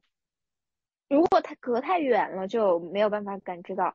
如就是如果距它它因为魔法它是会受时间和空间的影响的嘛，就是如果你隔的距离太远了，就比如说像像 Harry 他在有求必应屋里面找那个拉文克劳的冠冕的时候，就因为因为那个因对吧？他是他是通过自己他因为近距离他能够感知到，但是如果距离远了，Harry 自己本身他也不知道就这些东西到到底在哪里。哦，有道理，有道理。反正这个，反正也说得通。反正对对他的保护，所以他其实最后把那个纳吉尼一直那个放在身边，就是其实他已经意识到了，我不能让魂器离我太远，然后就是留在身边。但是没想到，就是正因为留在他身边，给了消灭他的机会。这个真的是太巧了，太厉害了。这这个这是对，呃，我我对整个作品，因为我是回看的时候，从第一部开始魔法师回看，我突然意识到了。在前面几部作品里，呃，罗琳对龙巴顿的描写是多么的有趣，这龙巴顿是多么无能、无知、小丑一般的角色。对对，呃，然后最后给了他一个非常非常这种高光的时刻。对，非常非常高光，而且他最后那个斩蛇行动，呃，我理解他并不知道蛇是魂器吧？他只是为了保护罗恩和赫敏吧？嗯，对对。对，嗯，就是因为他当时这个蛇要攻击他嘛，他就下意识的去把这个蛇给斩了。对，这个这个这个情节，其实我也是当时跟当时的记忆跟现在不一样的。我当时的记忆里可能是觉得我自动把呃龙巴顿的形象给高光化了，我觉得哦，这是个英雄出场啊，我就要完成这个使命。好像之前有人告诉过我啊，这是一个很危险的蛇，我一定要那什么。后来我再看的时候发现原来不是，因为。呃，龙巴顿在拔出格兰芬多宝剑之后挨了一魔杖，然后宝剑帮他挡了一下，然后他就弹飞了，然后被地上撞昏了。之后，呃，之后赫敏还罗恩说那个大家要努力把蛇杀掉的时候，龙巴顿其实听不到的，他那个时候是昏迷的。所以他并不知道这个蛇很重要的东西，然后他只不过从昏迷中苏醒，就像一个傻了吧唧的，就是一个一个小孩一样。哎，这个世界怎么变成这个样子？我刚才干嘛了？我刚才发生了什么？然后一看眼前一个蛇要攻击我的好朋友，咵叽就是斩了，就 是一个简单的一个没有什么阴谋和呃计谋的这么一个计算，就是我就要保护人，然后咔家就完成了。我，天呐，这太有意思了！我觉得这就是他。性格里面一部分就是他，就是龙巴顿这个人，他真正性格的这种展现吧。就是因为你看他，他虽然说就是一直以来就很胆小，然后也比较看起来傻了吧唧的，然后也就是不太聪明，就很又又很自卑的一个男孩。但是你，但是他被分在格兰芬多了，格兰芬多的天性就是很勇敢的、敢于冒险的这种性格，就说明他性格里面其实是有这样一个呃部分在的，就是可能说。因为别的什么原因，他一直压抑着自己的那个部分，然后在最后大战的时候受到了什么刺激，然后就让自己的天性在这个时刻绽绽放了出来。嗯，他其实就是你说的对，他其实天性里还是有勇敢的这个这个品性的，确实。对，包括对，而且他他是他始终是对自己很不自信的，就是从他入学到就是他从小到大就他自己都非常的对自己非常不自信，这个可能也跟他就是。嗯，跟他怎么样，从小生活的经历有关系吧？哦，哎，我倒觉得这不是他不自信啊，我觉得他对自己的能力有清晰的认知。对，对对对，可能是可能是这样，可能只是 对自己有非常清楚的认知。对他每堂课程每一个部作品里，只要有他出现的课堂，然后他施的魔法总是就是不完全体，总是差了一些。嗯呃，但但是哈 Harry 跟罗恩其实也也也跟他，我我我觉得哈，就在课堂上的表现其实也差不了多少。真的，就是你你就是你知道，就是在呃店里面没有拍，就是在在小说里面，就在凤凰社那一部，就他们五年级的时候，罗恩当上了级长嘛。然后 Harry 就内心就他很他很嫉妒，就是为什么罗恩当上了级长，不是我当上了级长？对呀。然后他就在他他里面就有一段反思，就是说，嗯，但是仔细想想，罗恩的成绩也比我好一点，他当上他他能当上级长，好像也也没有什么问题，就是 就是就是 Harry 这个时候对自己有一个清晰的认知，就是如果没有赫敏的话，他绝对他成绩，我觉得跟龙巴顿也不相上下吧，可能还没有人家龙。可能也没有人家龙巴顿厉害，因为你你仔细想想，Harry 从入学到他毕业，他根本就没有把他的心思放在念书上面，从来都没有过。嗯，对。所以他就是成绩上其实跟真的是没什么可骄傲的。对呀。哦，哎，那龙巴顿其实他，嗯，咱们讲他勇敢，好像这个人是有点。呃，怎么说神经大条，或者说有点大无畏，就是有点，呃，就是他不好像这个人做事，好像在我看来是有点不考虑后果的，就是这种这种是有点有点可爱的，就是就是咱们说傻的可爱，傻可爱，就像憨豆先生，就是你告诉憨豆先生往南走，他真的就踩在那人脑袋顶上往南走，就跨过那椅子往南走，就这种感觉。啊，有有点有点木讷，有点有点对，有点木讷，有点但是对，但是但是你又觉得这样的人很真实。哦，因为现实中好像我觉得很难见到这样的人，就是，就是这么嗯，就是坚持的一条准则，说然后我就这么执行，就是我不变通，这种感觉。啊，就是可能在现实中这。这样的人很容易遭到别人的鄙视吧？对，就就这种感觉，就呃，就像呃，就像我们很小的时候，可能大家一开始上学，呃，一开始是活泼的，想呃想一起举手，一起发言问题。但是当我们比如说有了羞耻心，我们要面子之后，在课堂上好像不举手就成为了一个习惯。谁举手，大家就默默的看着他，觉得这个人怎么这么爱显摆，对吧？但其实举手回答问题，这不是很正常的一个事情吗？这有什么所不正常的呢？不管你答对答错，这是非常正常的。但是在我觉得，龙巴顿就是那个不管我知不知道，我都敢于举手表达的人。那其他人就会受制于社会规则，受制于面子，受制于各种的影响，觉得我就蔫不敲的，我不回答就算了。可能我觉得是这样的情况。嗯嗯，有有有。我觉得在龙巴顿他的这个性格里面，就他还是有有一条他自己所坚持的东西在，就是他把它贯彻到底，对吧？嗯，有有有这个，我我觉得这个是合理的一个解释。而且他，而且你去看他在哈利波特整个哈利波特系列里面，他就像他就是一个非常典型的一个小人物的成长，就是就是你他从以前默默无闻，就可能也不怎么被人注意到，但是。呃，慢慢的你会发现，这个人他把他就是践行自己内心的这种东西，把它最后把它发扬光大，就是还还还挺难得的。对我我真的觉得，其实呃，咱们从比如说每个人都有一套自己世界观的话，龙巴顿的世界观可能非常简单，他不像有的人，比如说掌握了很多的什么呃法术，或者说秘籍，或者掌握了很多道理，他有一套很复杂的解释世界的架构。但龙巴顿可能就是觉得。解释世界很简单，就正义战胜邪恶，呃，我们应该帮助别人或者怎么样，真诚勇敢。他的他的世界观可能核心就那么几条，非常非常简单，远远不足以，比如说像经常我我们讲成功学讲什么，给你写一本书解释你应该如何为人处事，像什么厚黑学一样，完全不是那样的。罗巴顿整个世界观就非常简单，就是这样。而且我刚才突然又想起来，罗巴顿之前很搞笑的是在他第七部里面。他那个呃，麦格刚刚施了防护罩魔法之后，罗巴顿在桥的那边就嘲笑那些狮子族说：“你们过不来。”然后然后伏地魔 发射远程火炮，把防护罩打破之后，那些使徒小心翼翼的伸伸脚，哎，过来了，没什么事儿。然后龙巴顿慌了，开始往回逃跑，这样很搞笑。哦哦，对哦，你说的我我还我我差点还忘了，还有这个。哦，这个真的好，他跟那个呃西莫两个人一起合作，对吧？然后一个炸桥，一个一一个一个去刺激狮子图，哎，对对对，这一个呃真的太太勇敢了，我觉得就是这就是一个呃一个格兰芬多的典型的行为，就做事不会考虑后果。对他那个，我甚至想到了张飞、张翼德，对吧？怒吼长板桥，对吧？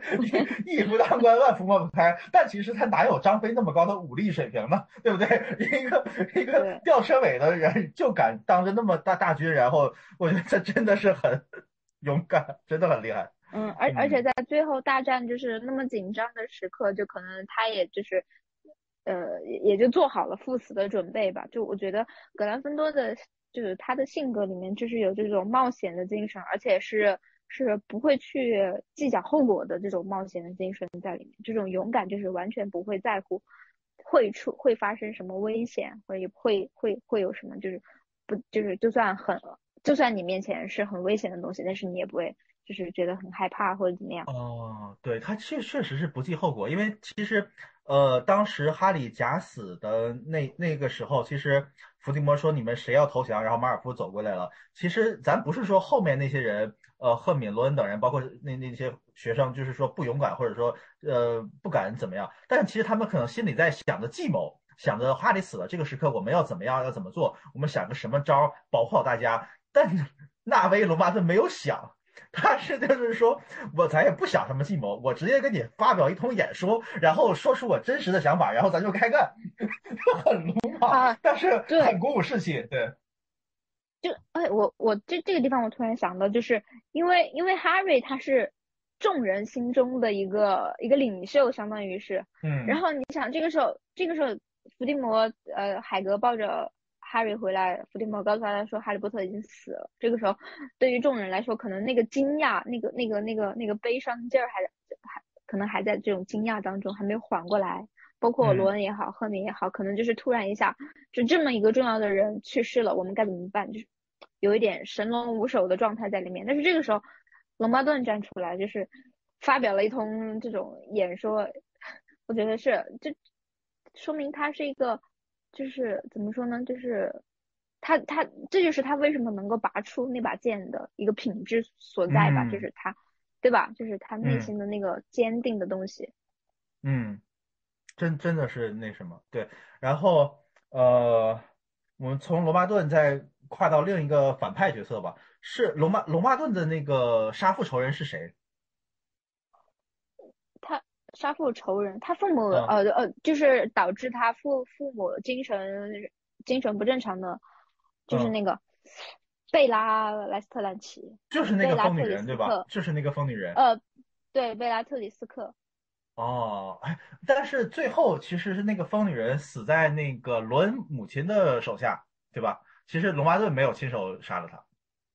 对对对对对，这个贝拉死在了茉莉的手下。哦，因为这个其实是我有点呃有点意外的，因为其实，呃，大战的时候，呃，我没有想到一个家庭主妇能发挥很大的作用。哦，这这一点我觉得可以可以可以聊，就是我我我我发现了，就是你你不不知道你有没有发现，就是呃这部作品里面三个母亲都发挥了至关重要的作用。哦，马尔福的母亲，罗恩的母亲，还有哈瑞的母亲。哦，就是马，你你想想，嗯嗯，伏地魔的两伏地魔两次失败，其实两个母亲都在其中很重要。比如说伏地魔第一次去想要杀掉哈瑞，没有杀掉，是因为莉莉在哈瑞的身上是就是实施了这种保护咒，对吧？嗯，然后咒语反弹到伏地魔身上，所以伏地魔第一次啊落荒而逃失败了。然后在第二次在禁灵里面。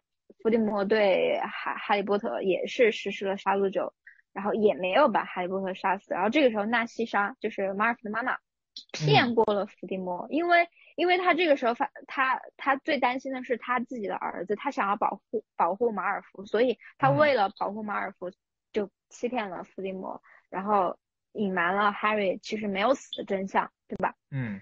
然后这个也是导致后来就 Harry 能够重新再跟伏地魔直接对峙。嗯。然后还有就是，就是伏地魔手下唯一一个，我觉得是唯一一个真正忠诚于伏地魔的人，贝拉，然后 死在了。死在了另外一位母亲的手上，就是这三个母亲发挥的作用都非常至关重要，我觉得。哦，真的是这样，真的是这样。就是那个呃，罗恩他妈妈，然后我觉得这个还是蛮帅气的，就是很很很很有范儿，我觉得很有范儿，超帅那个场面，真的。而且用罗就是罗琳之前接接受采访，他也呃他他也解释过，就是呃为什么就是说选择茉莉来杀死贝拉，就是因为这个时候，那因为当时贝拉攻击了他的孩子嘛，就是他作为一个母亲的本，就他就是他作为一个母亲的本能，就是你你你绝对不可以伤害我的孩子，你你这样你你如果伤害了我的孩子，那一个母亲的本能就是没有什么能够比得过一个母亲的怒火，所以这个是第一个，然后第二个。第二个是，就是，嗯，罗琳想要，呃，就是罗琳想要表达的一个观点，就是说，虽然说茉莉她是一个家庭主妇，但是她其实是非常非常有才华和能力的一位巫师。她其实，呃，早年她也是以非常优异的成绩从霍格沃兹学校毕业，但是因为啊，她，嗯，嫁给亚瑟之后，呃，他他的整个家族又不愿意支持他，因为他们倾向麻瓜的这种。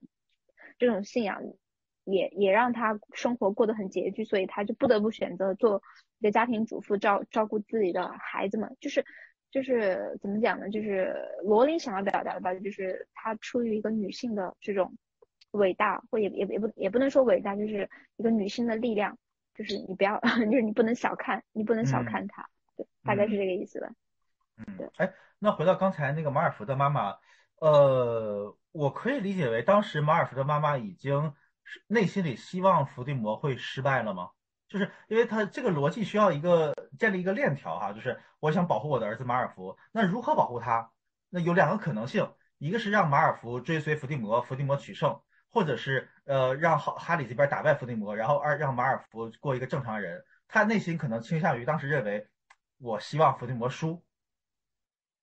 对。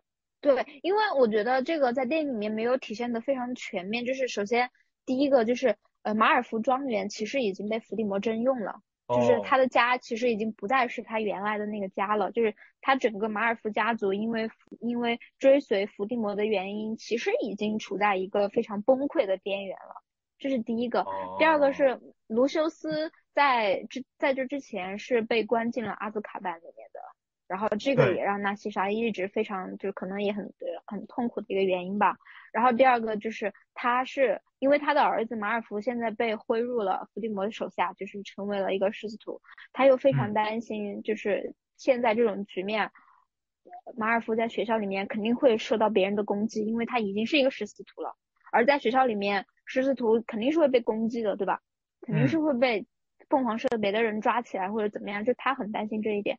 可我觉得是种种原因导致了他最后的叛变吧，就是全，但是全部都出自于他作为一个母亲对于自己孩子的关心和保护。哦，对这个这个妈妈我是可以理解她的。那你再说回他的儿子，他的儿子当初 尽管哈利被打了个鼻青脸肿，他他为什么替那个哈利隐瞒了呢？就没有说明这个就是哈利呢？这个好多人讨论过，我呃也是瓦尔夫这个角色这么受喜欢的一个原因吧，就是就是他不是一个彻头彻尾的坏孩子，就是他其实内心还是有这个善念的。我觉得一方面是因为他呃虽然说这个这个角色性格很不讨喜，不太好，嗯，但是我觉得也你仔细分析一下，就是就是。他肯定也不是那么乐意的去追随伏地魔吧，因为伏地魔给他的家庭带来带来的这些影响，然后以及他对伏地魔的这种恐惧，就是可能他内心隐隐约约的还是希望有一个人可以站出来把伏地魔打败，所以出于这样一种出于这样一种人性的光辉吧，在这个时候就没有指认哈瑞。明白，就是我我能否理解其实是。呃，恐惧永远都不能完全征服一个人的心灵。就是马尔福虽然是迫于伏地魔的淫威，但是他这他看到了自己父亲的下场，看到自己母亲处于一个非常艰难的境地里，看到自己的家庭被整个遭遇了一些，就是虽然看似在十四厨这边，他的家庭家族地位其实是蛮高的，但其实他因为卷入了一个大的纷争，卷入了这个较量，他这个家庭遭受了很多的不幸。那其实所以。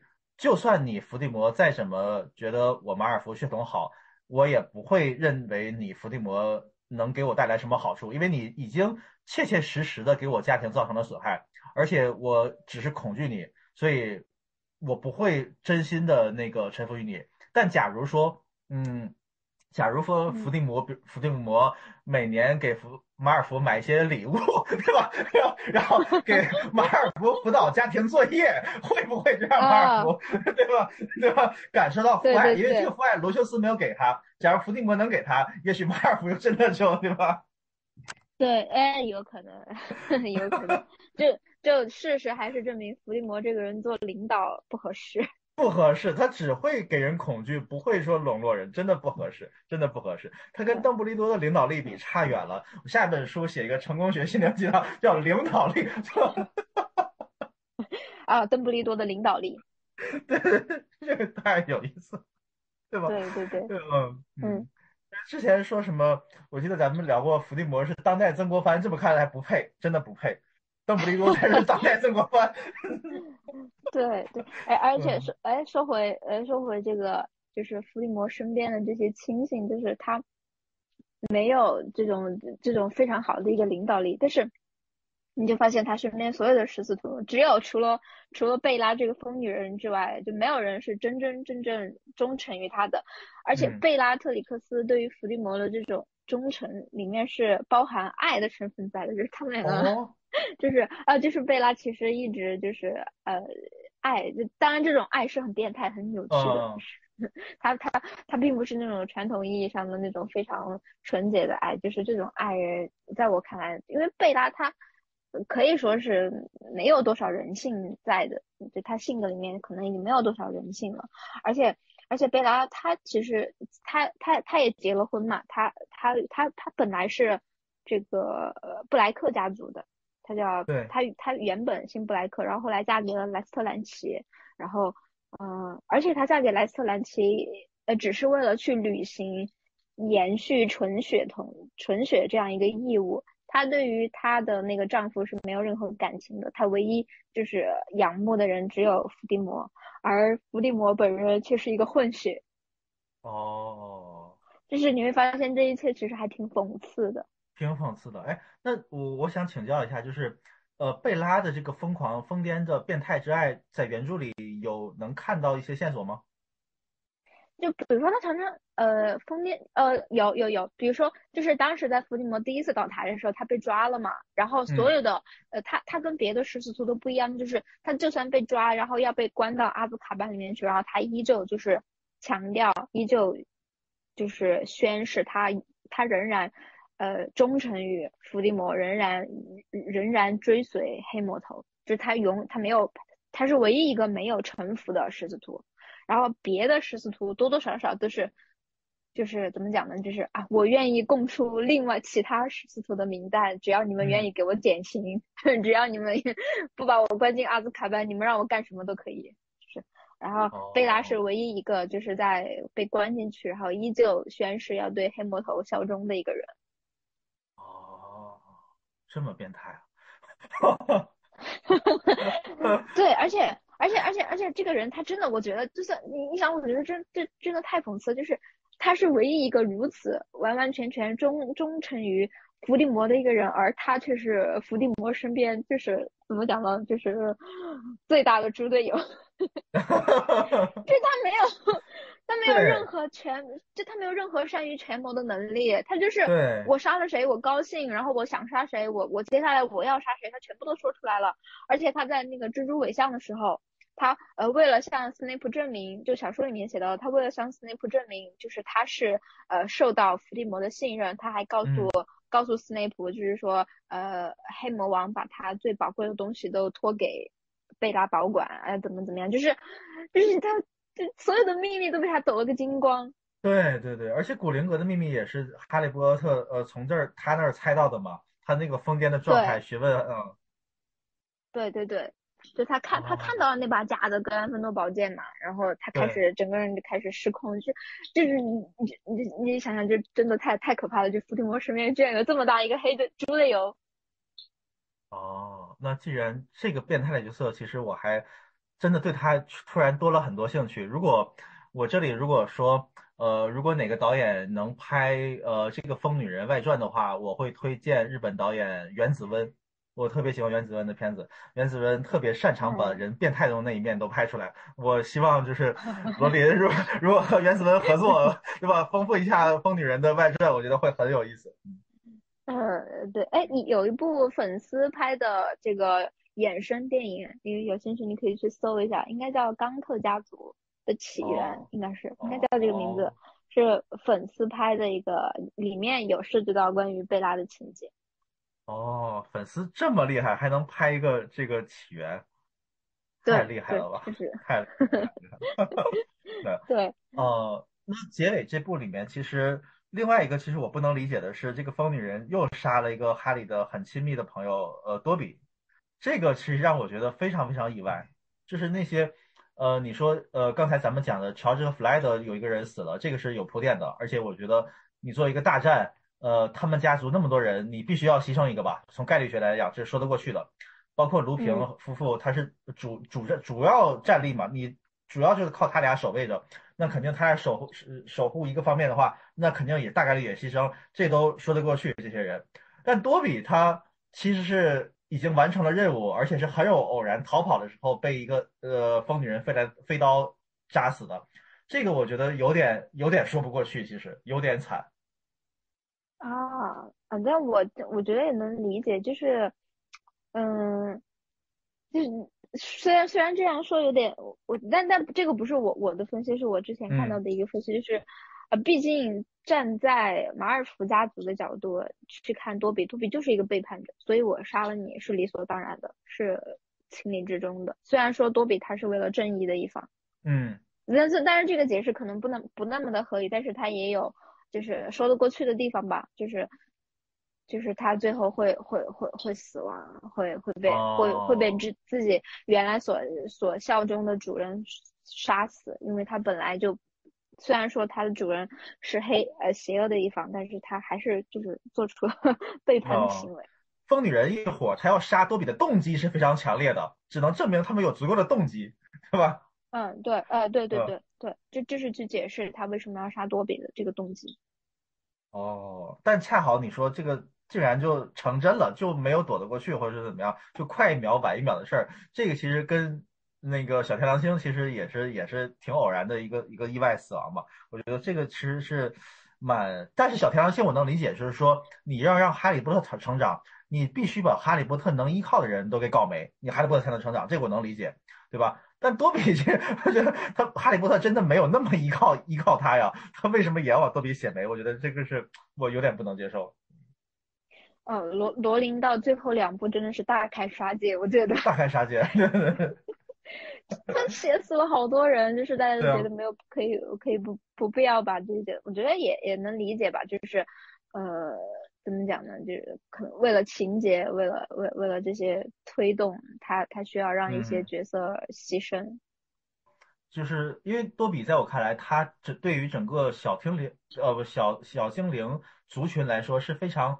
重要的一个标志性的象征性的人物，对吧？那他如果活着，他能给大家展示呃新的生活方式，就像比如说现在一个搞美食博主能向我们展示说，你可以不用上班，你拍美食视频，你就能活得很好，就像给我们展示的新的职业和生活方式一样。多比也能起到这么一个角色，对不对？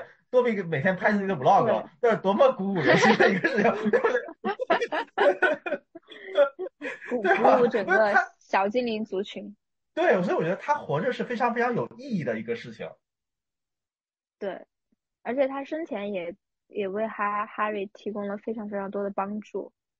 对，反正那谁知道，就是假如拍 拍小精灵世界的外传，我觉得那他们有可能，比如说通过这次大战之后，然后人们总结反思，然后再加上采访哈利，哈利可能透露出哦，多比是一个什么样的角色，有可能那有可能因为多比死了，所以整个小精灵界能把他给他立个雕像啊，或者怎么样，把因为或者说用多比的精神感召整个小精灵的精神，因为咱们看。古灵阁那些小精灵也好，还是那那些也也好，觉得他们，嗯，呆头呆脑的，其实也不算呆吧，也不算傻，但只是好像就是说有一个原则深深的束缚着他们，他们就不能去干别的事儿，然后或者是掉进钱眼里，或者是或者怎么样，就是感觉这个世界仍然是一个呃前现代世界，他们的人缺乏一些呃天性的解放，我这么看，希望我我。希望多比的死亡能给他们带来一些思想上的解放。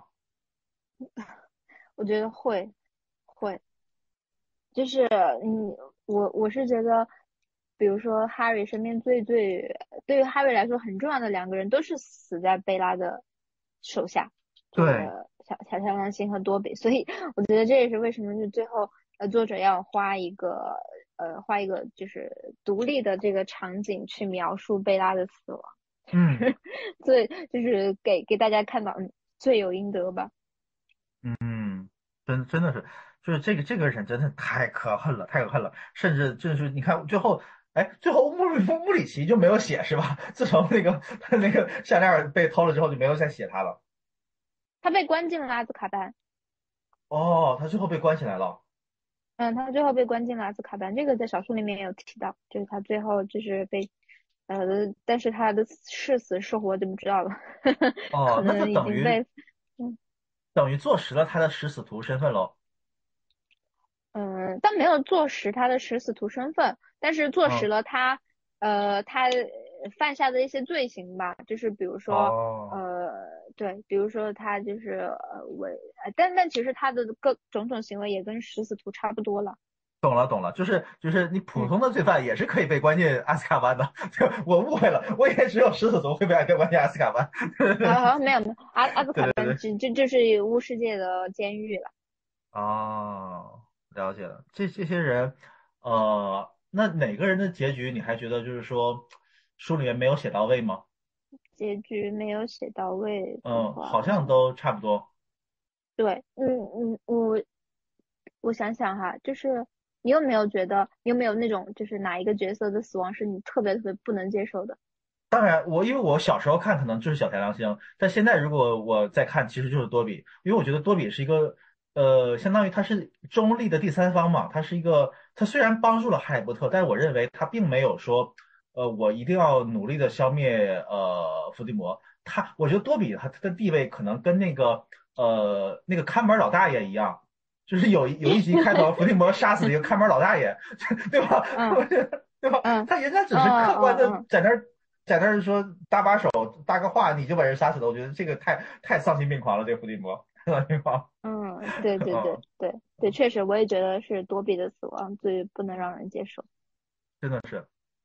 包括你像卢平什么的，就是我从剧作理解来说，你必须把这些他的长辈都搞没，然后这个人才能一个成为长大的人，对吧？这个是我是可以理解的。但是虽然我也挺挺觉得那遗憾的吧，嗯，还行，就是温暖的之处在于，就海格最后还是没有事儿，我就觉得还还蛮好的。就 海格再离开，我就真的不能接受了，真的不能接受了。毕竟毕竟海格自带 buff。对，真的是可以抵御大多数的魔法攻击。哦，真的，真是真的是挺好的。海格还对，那最后一部他们整个呃海格的其实戏份就不太多了嘛，因为他们三个主要他们集中在他们三个。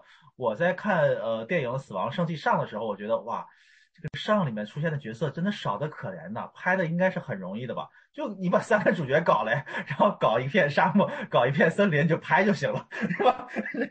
嗯，对，哎，就在就是电影里面死亡圣器上的时候，就其实主要就是三个人逃亡路途嘛，就是他们三个离开霍格沃兹，然后一直都在不停的逃亡，因为这个时候应该是邓布利多去世之后，然后因为也是因为邓布利多去世，他们才踏上逃亡的旅途，然后为了去找到那个真正的挂坠盒，然后这个时候，嗯，凤凰社的。各个成员就转到地下去抗争了，就不敢在明面上抗争了，因为这个时候就是论实力上比起来的话，就肯肯定是伏地魔更呃更更更抢先，更更厉害一点。所以这个时候就是，而且这个时候凤凰社他们主要的任务其实就是保护，第一个是保护魔法世界不被伏地魔曝光，第二个是保护麻瓜，因为伏地魔就是他非常的喜欢用麻瓜折磨麻瓜。然后另外一个呢就是。嗯，呃，凤凰社也会通过那个无线广播，就在电影里面出现过，向整个魔法世界揭露伏地魔已经回来的那个真相。哦，对对对对，而且我我我还我我还看到了一个解释，就是说这个时候呃三人组就是没有跟凤凰社其他的成员呃接触，其实也是为了第一个就是魂器的秘密还这个时候还没有被众人知晓。就可能其他很多凤凰社的别人都还不知道魂器的东西的存在，然后他们三个踏上旅途，可能也是为了保护别的凤凰社的成员，就是我们肩负着重任的感觉。那咱这么说，如果你把这个事儿看得更伟大一点，哈利就不能想象得到，假如说他们三个遭遇了意外，那世上再也没有人知道魂器的秘密了哟。他们不提前把这个事儿告诉别人吗？我觉得这个有点太自自信了吧。这个，嗯，对你这么说的话是有道理。这么说的话，啊啊，你但是斯内普知道啊。哦，斯内普是知道的，对，斯内普知道。对，对，斯内普是知道的，但但你这样说也有道理，就他们三个有点太自不量力了一点。对啊，就是这个事儿，你肯定，你就算说告诉你们先别去找，但是就是你你们得知道这个事儿嘛。假如我们失败了，你们再想办法搞的搞齐嘛。这里面其实就像那个呃漫威的那个剧，就是有个叫什么动画片儿，一个动画做的剧一样，它有 if 线嘛，就是如果这个事件不是那样的，如果黑豹不是那个人，如果蜘蛛侠不是那个人会怎么样？如果我觉得这个里面可以开个脑洞，就是如果呃三三。主角在刚踏上路上就被什么那个什么掠夺者，就是小混混给抓起来，然后然后然后意外去世了，然后然后这个唯一拯救世界重任落在斯内普斯内普身上，然后讲讲他这条逆 f 线，我觉得会挺有意思的。那可太难了，一个人要找那么多魂器还得消灭，然后一面还得跟那个伏地魔搞好关系，然后背地里抽空搞这些东西，我太难了，那就。对对对。那你哎，你在呃一开始看，因为看书可能我没有什么太多的感觉哈。看书我觉得，呃，第七部呃整个死亡圣器给我感觉还非常好的，它是一边穿插现实的逃亡，然后一边讲邓布利多的谜，一边讲那个这些故事。但是我记得我第一次看电影的时候是给他打的不太高的一个分数，因为前面我就是打很高的分嘛。但看呃死亡圣器上的时候，我觉得。这是个什么东西呀？这咋这么没意思呢？我就深深的觉得这好无聊啊！他们三个就走路说话，这真的好无聊啊！这种感觉，就是因为那个时候我可能对电影理解也不是很深哈，我也就是没有什么所谓的这种逃亡公路片的概念，我也看着人剖析人内心的挣扎、阴暗面的东西也不多，所以我对他的死亡圣器上的电影的这个评价，可能当时看是不太高的。但尽管我现在觉得它仍然是还挺有意思的，但现在我再回头头看，我也能觉得就是说，呃，如果你不是这个系列死忠的迷的话，你看这么一个片子，仍然会觉得挺闷的。对，因为它里面有太多太多，就是你需要提前知晓的东西，然后它它同时又铺垫了很多伏笔的东西，就是就好像怎么讲呢？就是它就是一个粉丝向的电影。我感觉，就我纯粉丝向的，就你你你如果不了解前情提要的话，你是不太明白为什么他们三个要这么一直逃亡，然后也不太明白为什么一定要一一定要去到那么荒无人烟的地方。嗯，就跟那个神神奇，嗯，那你说你说，没有，我说就跟那个神奇动物第二部一样，就是它完全就是为了就是后面的剧情的发展，然后硬是往里面塞了很多。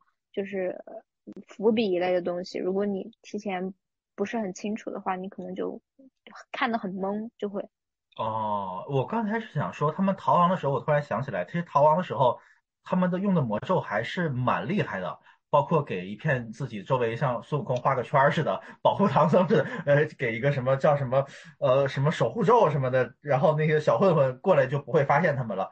包括他们就经常会使用什么幻影移形这东西，哇，以前这些东西都好高级哎，好像你们不应该会的，但到你们最后大结局的，好像都能轻松使用。我觉得他们逃亡时候好像突然一瞬间就变得变成很强的巫师了，一瞬间长大了，对吧？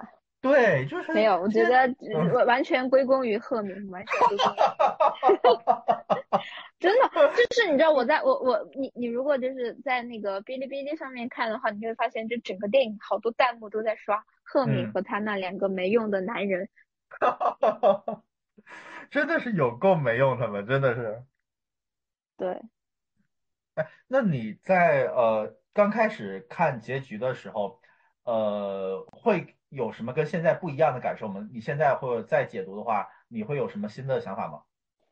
嗯，新的想法，嗯，我觉得就是，就是你呃理解了那些人物的动机，然后理解了他们的情感吧。我觉得就是，比如说像像像邓布利多，嗯呃像那个赫罗恩的妈妈，然后或者是更加理解纳威。就是对这个角角色他呃人性的闪光点，就是你还还包括斯内普，就是原来看的时候就觉得哦，原来呃斯内普他是一个好人，你你除此之外你你可能也没有办法去想更多的东西，因为以前看的时候就真的想不到啊，就后来你在不断的看，你不断的去挖掘电影的细节的时候，你就会呃怎么说呢，就是能够跟角色共情。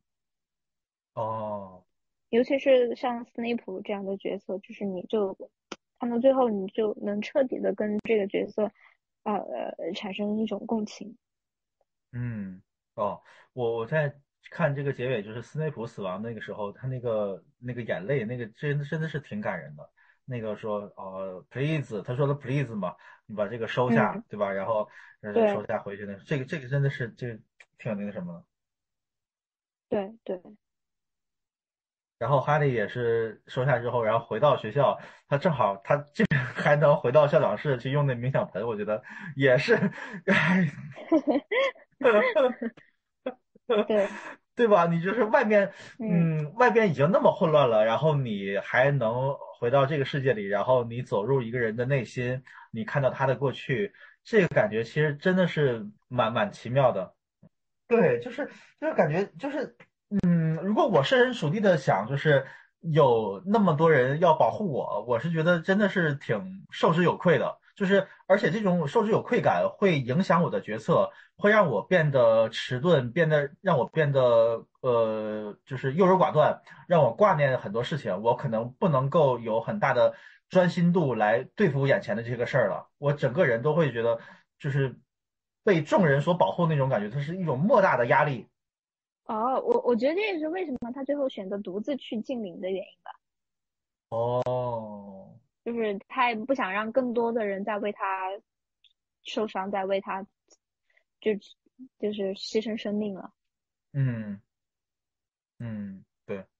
然后最后他那个也是跟那个赫敏和罗恩说了，就是说，哎，你们。应该也都想到了吧？我觉得我这个这个这个事儿，我觉得有一种就是慷慨赴死的感觉，就是吧？为什么我会舌老枪？为什么我会跟他有共鸣？是因为我也是魂器。这个这个他有这真的是很，就是因为当时我觉得那个赫敏和罗恩的反应也，我觉得也拍的非常好。就是说他们其实也也知道这个事儿，但是他们不可能跟阿里说：“哎，你去送死吧！” 不可能这么跟他说。对对对对对。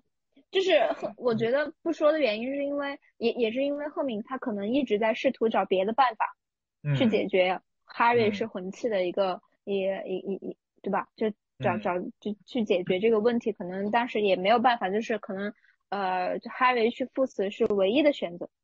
嗯，然后。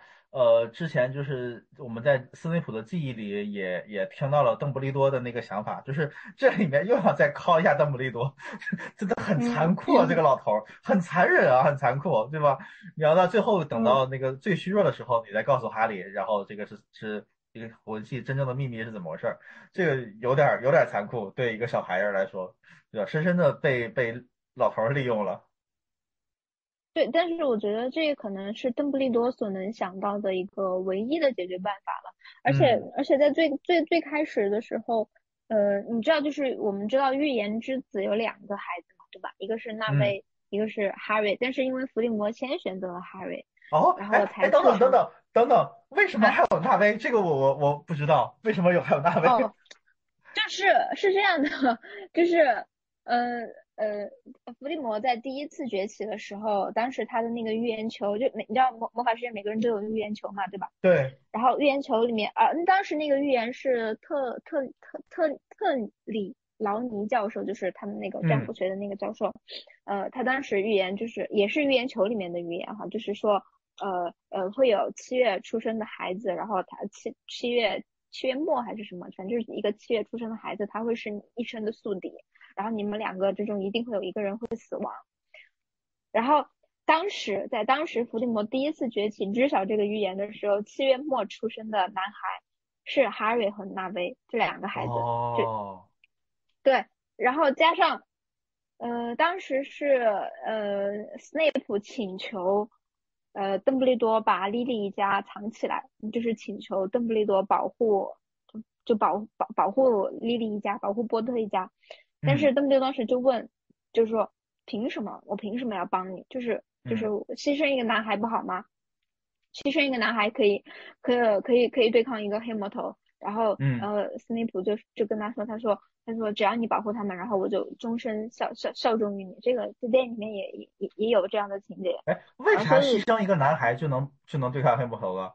为啥牺牲一个？不是，也也不是，也不是单，也不是说牺牲一个男孩，就是邓布利多不明白为什么一定要保护哈瑞这个男孩，就是他他他说为什么我为什么一定要保护这个男孩呢？对吧？哦，就是对，然后这个因为预言之子有两个，然后好像是因为邓布利呃是伏地魔他先先就选择了哈瑞一家，先选择了波特一家，然后另外他派出了贝拉，贝拉这个疯女人去。去抓住纳威一家，就是去抓那龙龙巴顿夫妇。哦，就所以，但是对，所以你你你，其实你仔细想一想，这个预言它之所以会成真，实际上是伏地魔自己的选择。他如果不去找这个男孩，那么他施在哈瑞身上的咒语就不会反弹到他身上。嗯，对吧？其实对，就是这个这个这个预言是他自己一手促成的。哦。哎，这不就是古希腊著名的俄狄浦斯吗？是吧？对对，就是他一手酿造了这个悲剧。哦，这真的是还是一个蛮经典的一个套路哎，真就是千百年来人类就是呃人类对命运的思考，其实人因为人类其实永远也参不透这个命运嘛，对吧？我们只能看到短期的一个结果，是我今天加班了就能获得什么，领导就能给我怎么样，我今天明天考试就能考好，只能看短期结果。人们也无法长期看到，说我到底对命运施加了什么，才能导致我未来怎么样？所以说，其实一直是这个有一种宿命感悬在整个人类世界的头上的。即使你是最顶尖的科学家，你也研究不透这个东西。对，这这这这一切都还蛮，就是怎么说呢？就是一种巧合，也是一种讽刺吧。就是，嗯，就你逃不出这种。而且这个命运，一个是你逃不出，第二个他你确实的的确确是自己一手造就了他。嗯，确实确实。你刚才讲的这个对比让我觉得就是真的很有趣。一个一个 吊车尾的龙巴顿和一个哈利，其实他们都是呃七月份的尾巴，你是狮子座对吧？对他们，而且他们两个都是格兰芬多，然后他们两个。也呃，就是纳威也有自己这种性格的这种人性，就是作为一个格兰芬多必有的这种这种气质，这种东西还是真真切切存在在他身上的。哦，真的，他这两个对比真的有趣，真的有趣，真的有趣。OK，嗯，然后我我最后还想问，就是说，呃，整个哈利波特的这个旅程就结束了，你你觉得 你觉得哈利？其实他失去了很多亲人嘛？你觉得哈利从他的成长过程中，你觉得他学到的最宝贵的是什么东西？或者他成长，他因为什么而得到的成长？然后你在看跟随哈利的视角，你在看这个作品的时候，你觉得你收获了哪些东西？嗯，我觉得 Harry 首首先你说 Harry 收获了什么？就是怎么讲？就是他收获了爱情。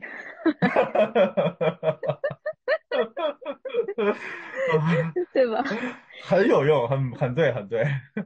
呃，我我觉得最最主要的是他，嗯，我我我，当当然也不是说 Harry 一定，我觉得也是从他身上看到的吧，就是人明白一个人的人性里面，他他是有很多种可能性的，就是他会发现那些他爱的人，比如说像邓布利多，他尊敬的人，或者说。他一向以为他觉得非常憎恨的人，比如说像斯内普，然后他在最后大战结束之后才发现，这些人他都有自己性格里面的这种多样性，然后就又回到邓布利多对哈瑞说的那句话，就是决定你成为什么样的人是你的选择。我觉得这一点是，就就是很重要的，就是也是哈瑞也应该是哈瑞从。就是整个这个旅途当中所收获到的东西，就是他不断的从这些人身上去印证了这个道理。我觉得也是看整个哈利波特系列中，我觉得就是最值得让人深思的一个道理吧。嗯，对，决定你你是什么样的人的是你的选择。对，没错，而且最主要的是。嗯，他他让你看到就是一个人人性的这种复杂性，就立体性，就是一个人他他之所以会做出种种的选择，是跟很多因素有关的。他不一定是绝对的正义，也不一定是绝对的邪恶。包括像伏地魔，就是他为什么会会会变成啊这样一个冷酷无情的人？为什么会变成一个啊走上这种？呃，黑魔法道路的一个人，你会发现，哦，对，这个地方我特别想要提一个问题，就是你会发现这里面所有角色的动机都跟他的原生家庭有关系，所有角色的性格，就罗琳本人，我觉得他一定是一个有有着很强原生家庭情节的一个人，就这里面所有人物，包括就像包括斯内普，然后莉莉，或者说是卢平教授也好，邓布利多也好，这些人他所有会造成他。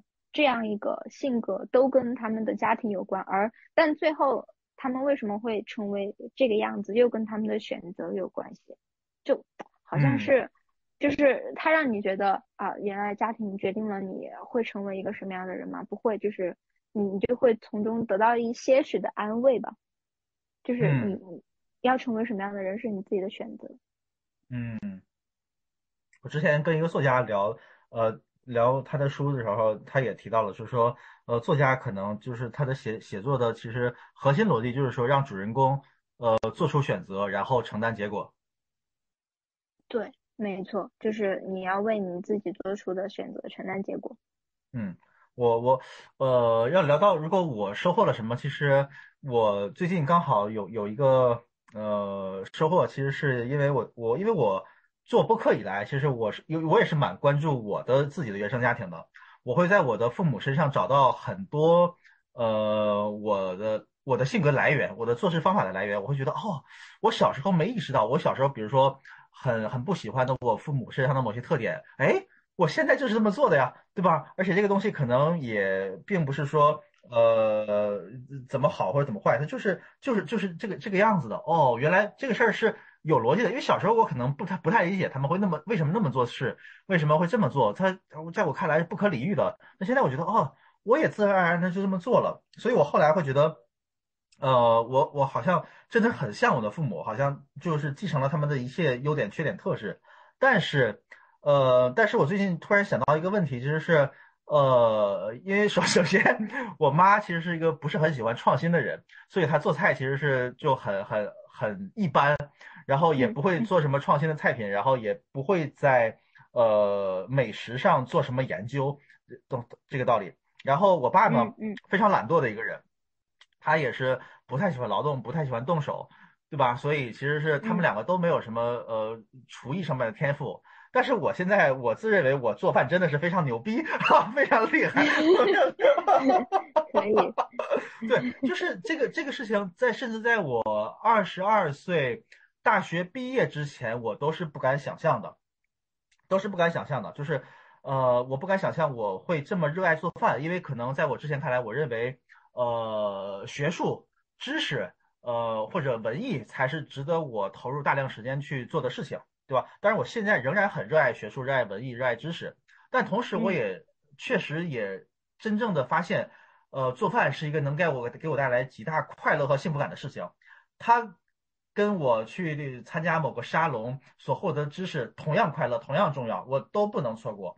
所以，而而而做饭这个东西，它其实又需要你的动手能力，也需要你创新，需要你呃踏实的干活，对吧？因为因为你前期准备需要买菜，你要挑选比较，你事后还要刷碗，还要收拾屋子，这它绝 非一个懒惰的人能完成的事儿。所以我发现。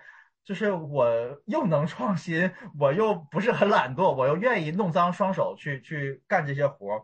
我发现，所以说从这个角度来讲，我发展出了很多跟我的原生家庭不一样的性格和兴趣和特点。这从这个角度上，我是从我的例子真正理解到了选择其实是很重要的。就是我我可以自由的选择我那些我想要干的事情，而不必受到原生家庭的束缚。对。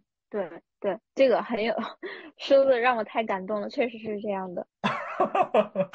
小事儿，一 件小事儿。嗯，这这 真的是这个样子的，真的，就是后天对自己的教育很重要，对吧？嗯，对对对。OK，那差，我觉得我们之前准备的大纲我都聊的差不多了。对对对。嗯。阿阿金还有什么想说的吗？还有什么觉得意犹未尽的吗？哎，我我其实这个地方还想提到一个，就是还是在最后看到看到一个角色，他立体的一个体现，就是哈哈利的姨妈。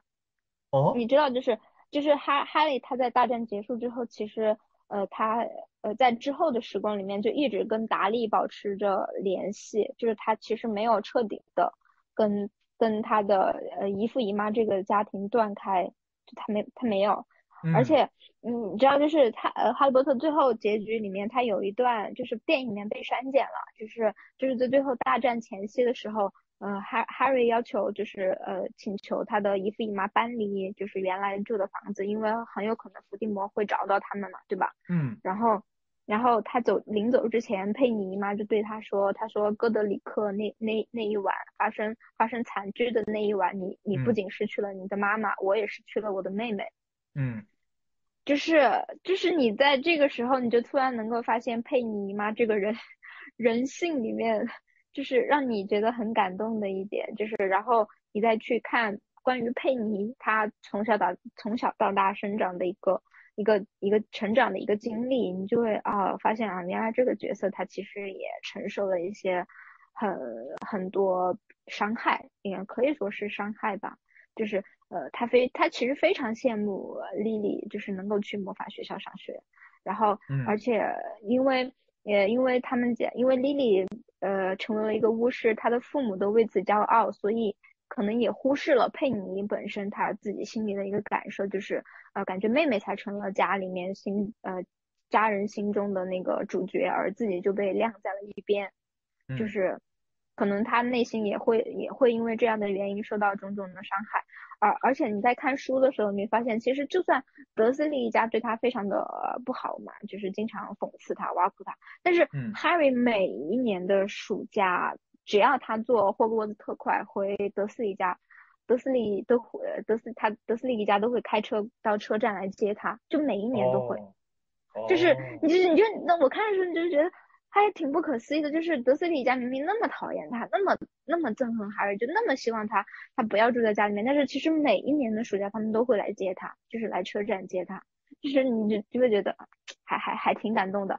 然后然后最后就是呃在最后就是哈瑞跟达利告告告别的时候，达利对他说，他说他说我知道你其实对我没有恶意的，然后就是说啊我也承认就是我我们家以前对你很不好怎么怎么样。就是在最后这个阶段达成了一个和解吧，我觉得这个是挺让人很欣慰的一点。就是 Harry 的 Harry 在最后的这个，你就你就真正能觉得在在最后两部里，你能发现这个角色啊，他真正的成长了，他真正理解了每一个人。不知道你怎么看这个角色？就是你你说一开始那个呃原著里面的佩妮姨妈那个哈利劝他走，这个我是记得的。因为电影里面其实漏掉了，我也我也我也意识到了，就是这电影里一开始他们搬家是让人觉得有点唐突的，有点唐突的，有点像是如果你不太懂的话，会误以为哈利像做了一把恶人把他姨妈赶走了一样，对吧？对吧？啊，对对对，有有有点鸠鸠占鹊巢的意思嘛，有点鸠占鹊巢的意思。但是我觉得原著里确实是有这个和解的。我说起说，呃，我我是能理解佩妮姨妈一家的那个那个感受的。其实他们呃仍然记得呃丽丽是怎么一个回事儿，怎么回事儿，怎么怎么回事儿死的。然后她跟哈利的关系，其实呃平常虽然是有很多矛盾，但其实呃怎么说呢？这个有点像是呃，因为他丧失了他的妹妹嘛。他会觉得害死他妹妹的人是他侄子，对吧？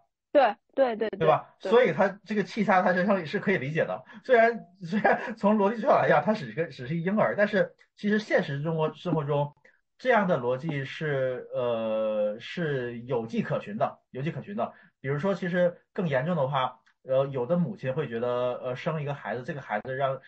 当时生产之后，她很痛苦，会觉得这个孩子给我带来不幸，或者说这个母亲或者因为生了孩子之后受到呃丈夫那边家人的欺负，然后然后对吧婆媳关系的紧张，她会觉得是因为我生了这个孩子导致了我的不幸，因为她无力反抗那个那个婆婆，对吧？她所以说只能归结到这个这个同样的道理，呃，她她的姨妈也是无力反抗伏地魔，她甚至找不到，她也她也不知道到底是怎么回事儿，所以她只能归结到哈利身上，这个是一个现实中你可以找到的一个因。我们都会有呃建立因果联系的，因为我上期节目呃也刚好聊到了这这这个回事儿，类似于就是江哥那个案的一个情况，就是我们总想总会给自给自己遭受的一些不幸和悲剧，想找到一个原因，这是人的本能，我们每个人都大大小小遭遇过很多不幸，然后我们为了让这个世界解释得通，就像刚才说的。我们人类是参不透命运的，不知道这个偶然性、这个概率降到谁的头上，这个是完全无法参透的。所以，我们但是又想让自己的生活变得合理，让自己逻辑自洽，那就拼命找一些因。这个归因的环节很可能就是完全无厘头或者错误的。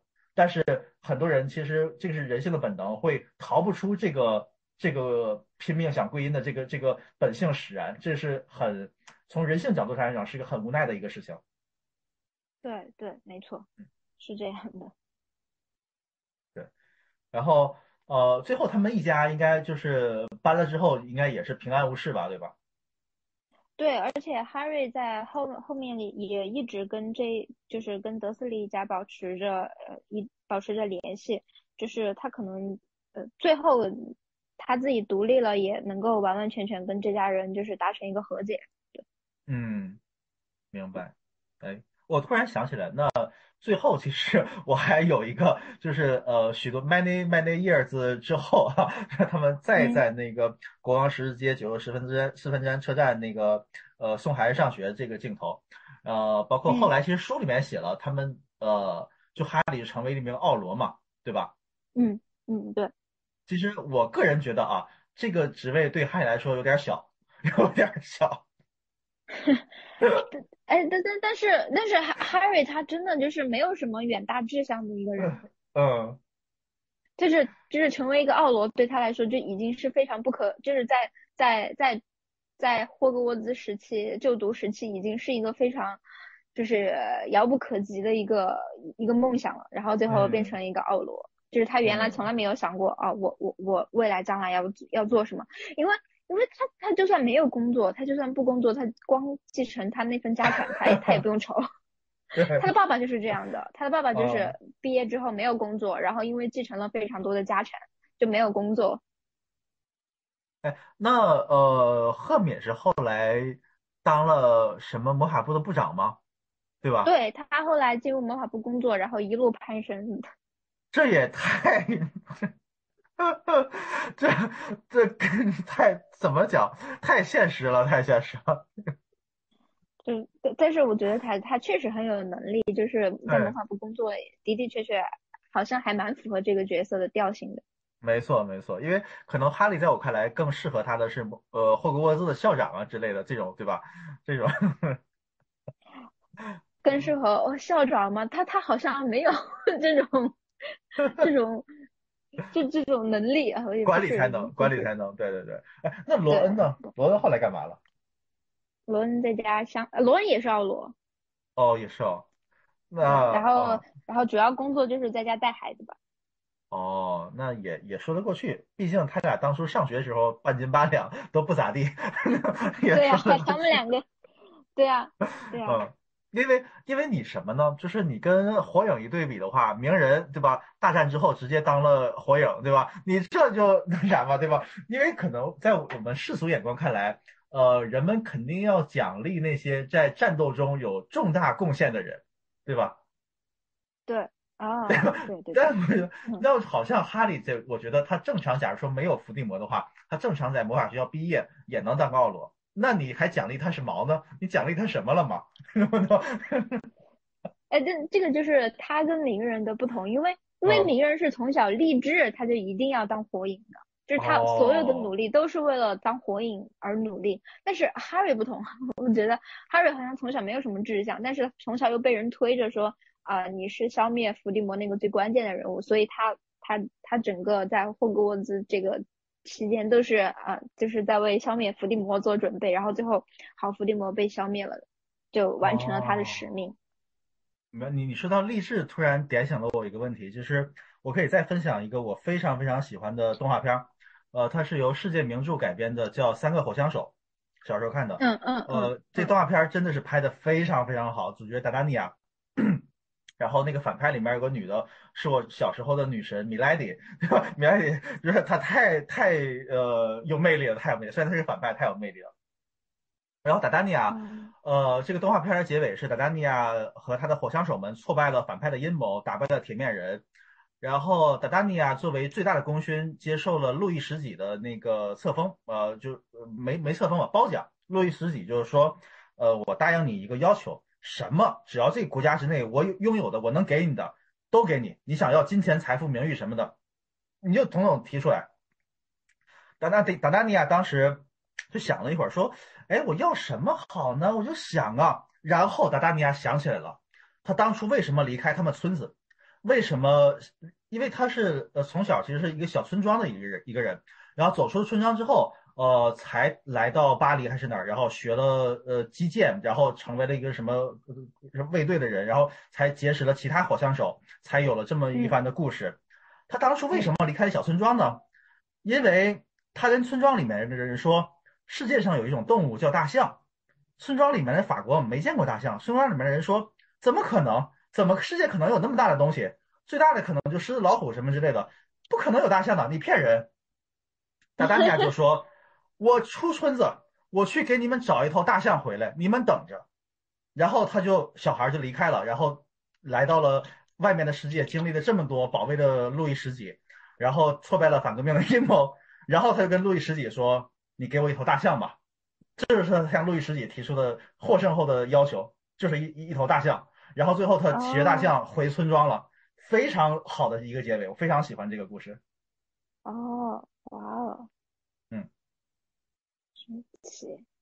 对，这是小时候的志愿嘛？小时候志愿就决定你 你最后是当什么样的人嘛？对吧？这个很很有很好的一个一个预言预言。嗯，对，对，没错，确实。就是，这就是达达尼亚心中是呃至纯的，他他没有那些争名夺利的想法，所以他才能对吧？就是作者告诉我们的，他才能战胜邪恶，他才就是真的是不为名不为利，就是。我儿时的梦想就是我一生要坚守的那个那个东西嘛，就是就是那一个纯洁无瑕的一个人，就是应该是这个样子的。对，哦哦，对对对，确实就是这这个挺感动的，就是你能够把它作为一个一生奋斗的目标坚持下去。对对对，他他途中也没受别的什么的诱惑，他就仍然觉得，哎，我就是为了那个目标而在的，别的不能打扰到我，对吧？这个特别特别感人，嗯，这这个其实还蛮难得的，就是你在现实生活中好像嗯能够这样一直坚持下去的很少，因为现实的因素可能更复杂，你可能会更更容易被别的东西所动摇。对对对对，就现实里面你你经历的太多太多，对，就是很多人其实都是，呃，小时候可能会有什么某种理想，然后长大了，然后大了一点之后，别的成年人说，哎，你别看你现在这么想，等你到了我这个年纪，你就也像我这么想了，对吧？经常被这样的人说嘛，对吧？你你现在你现在还很看似有这样的。呃，我什么很什么很奇怪的想法，是因为你还没成熟，你还没长大，对吧？对 对对，嗯。哦，我觉得聊到这儿，我就非常非常开心，非常感谢阿金，给我很多很多 启发。嗯，非常感非常感谢，非常感谢。好，谢谢。那哎，我我突然想到，你说哈，你说呃，《哈利波特》。会不会在十年或者二十年之后重启电影，翻拍或者重新拍，再找新的孩子演一遍？我不知道哎，但是我觉得也不是不可以，对吧？就是《黑客帝国》二十年之后都还能再拍新的，嗯，这《哈利波特》有有什么不可能？我觉得完完全有完完全有可能，但是但但是目前我觉得。我我肯定不太希望就是出现一个翻拍或者是一个续作，那当然除了神奇动物，又是另外一个一个系列了嘛，就是我觉得有可能，呃，因为以后就是这个技术啊什么都都更更成熟了之后，可能又能做出来更多精彩的这种特效吧，就是让你更加让我们更加的还原整个魔法世界的东西，因为。呃，现在的这八部电影，它确实还有很多东西是没有拍进去的。哦，其实拍成电视剧说不定会更好。哦，有道理，有道理，有道理，对吧？因为它里面涉及到的人物很多嘛，就电影它可能会为了时长做取舍，但是电视剧可能就不会做那么多的牺牲，它可以把更多大家想看到的情节放到上面去。嗯，我还我其实还。有点期待的，说哪个很有个性的导演能拿过来改一改。当然，我不太希望他完全，嗯，就是还按照原著里面的拍。其实我倒希望看到很有个性的导演，呃，把自己的想法加进去。可能我是我会有有这样的期待，因为我觉得，呃，一个经典作品它之所以是经典，它是会允许所有人去按照自己的理解来重新构造它的。就像什么莎士比亚就是一样，所有人。不管中国的、外国的，你看冯小刚也可以拍，外国的也可以拍，哪个国家都可以把莎士比亚拿过来加进自己的东西。我觉得这个会看到，就是相当于一个呃同题作文，很多伟大的导演、伟大的大师都在用同样的命题，就是莎士比亚给你规定好这个命题，然后你来创作。那我觉得就是很有趣了，很考验你们的个人的能力，还有说你你你你们怎么理解这么一个伟大的命题？对对对，你这个是很这个是很有意思的。嗯，OK，那那我们阿杰要不要最后再说两个呃结束语？就你还想说什么，我们就结束了。呃，说什么？就是啊，就是呃，如果可以的话，希望神奇动物三，神奇动物三可以，嗯，我们呃继续讨论邓布利多的秘密，对吧？然后可以可以。就是电影的宣发方看到了可以联系我们，然后啊对对，然后就是呃，我觉得希望就是各位喜欢哈利波特的这个哈迷们，就是呃能够呃坚持，就是大家在小说里面所呃所感感感受到的东西，然后就像邓布利多说的那样，就是呃坚持你自己的选择，对，嗯。我那我要说的就是同上，我我点赞点赞点赞，阿金真的是我觉得说的特别好，特别好，真的就是坚持你们所选择的东西，相信的东西，你们当初看到了什么，它就是什么，就不要怀疑他，坚坚定那条路，对，嗯，感谢大家，感谢阿金，感谢感谢可能呃不多的听众的陪陪伴，对对 对，嗯，谢谢大家，谢谢大家，嗯，然后希望我们下次比如说神奇动物。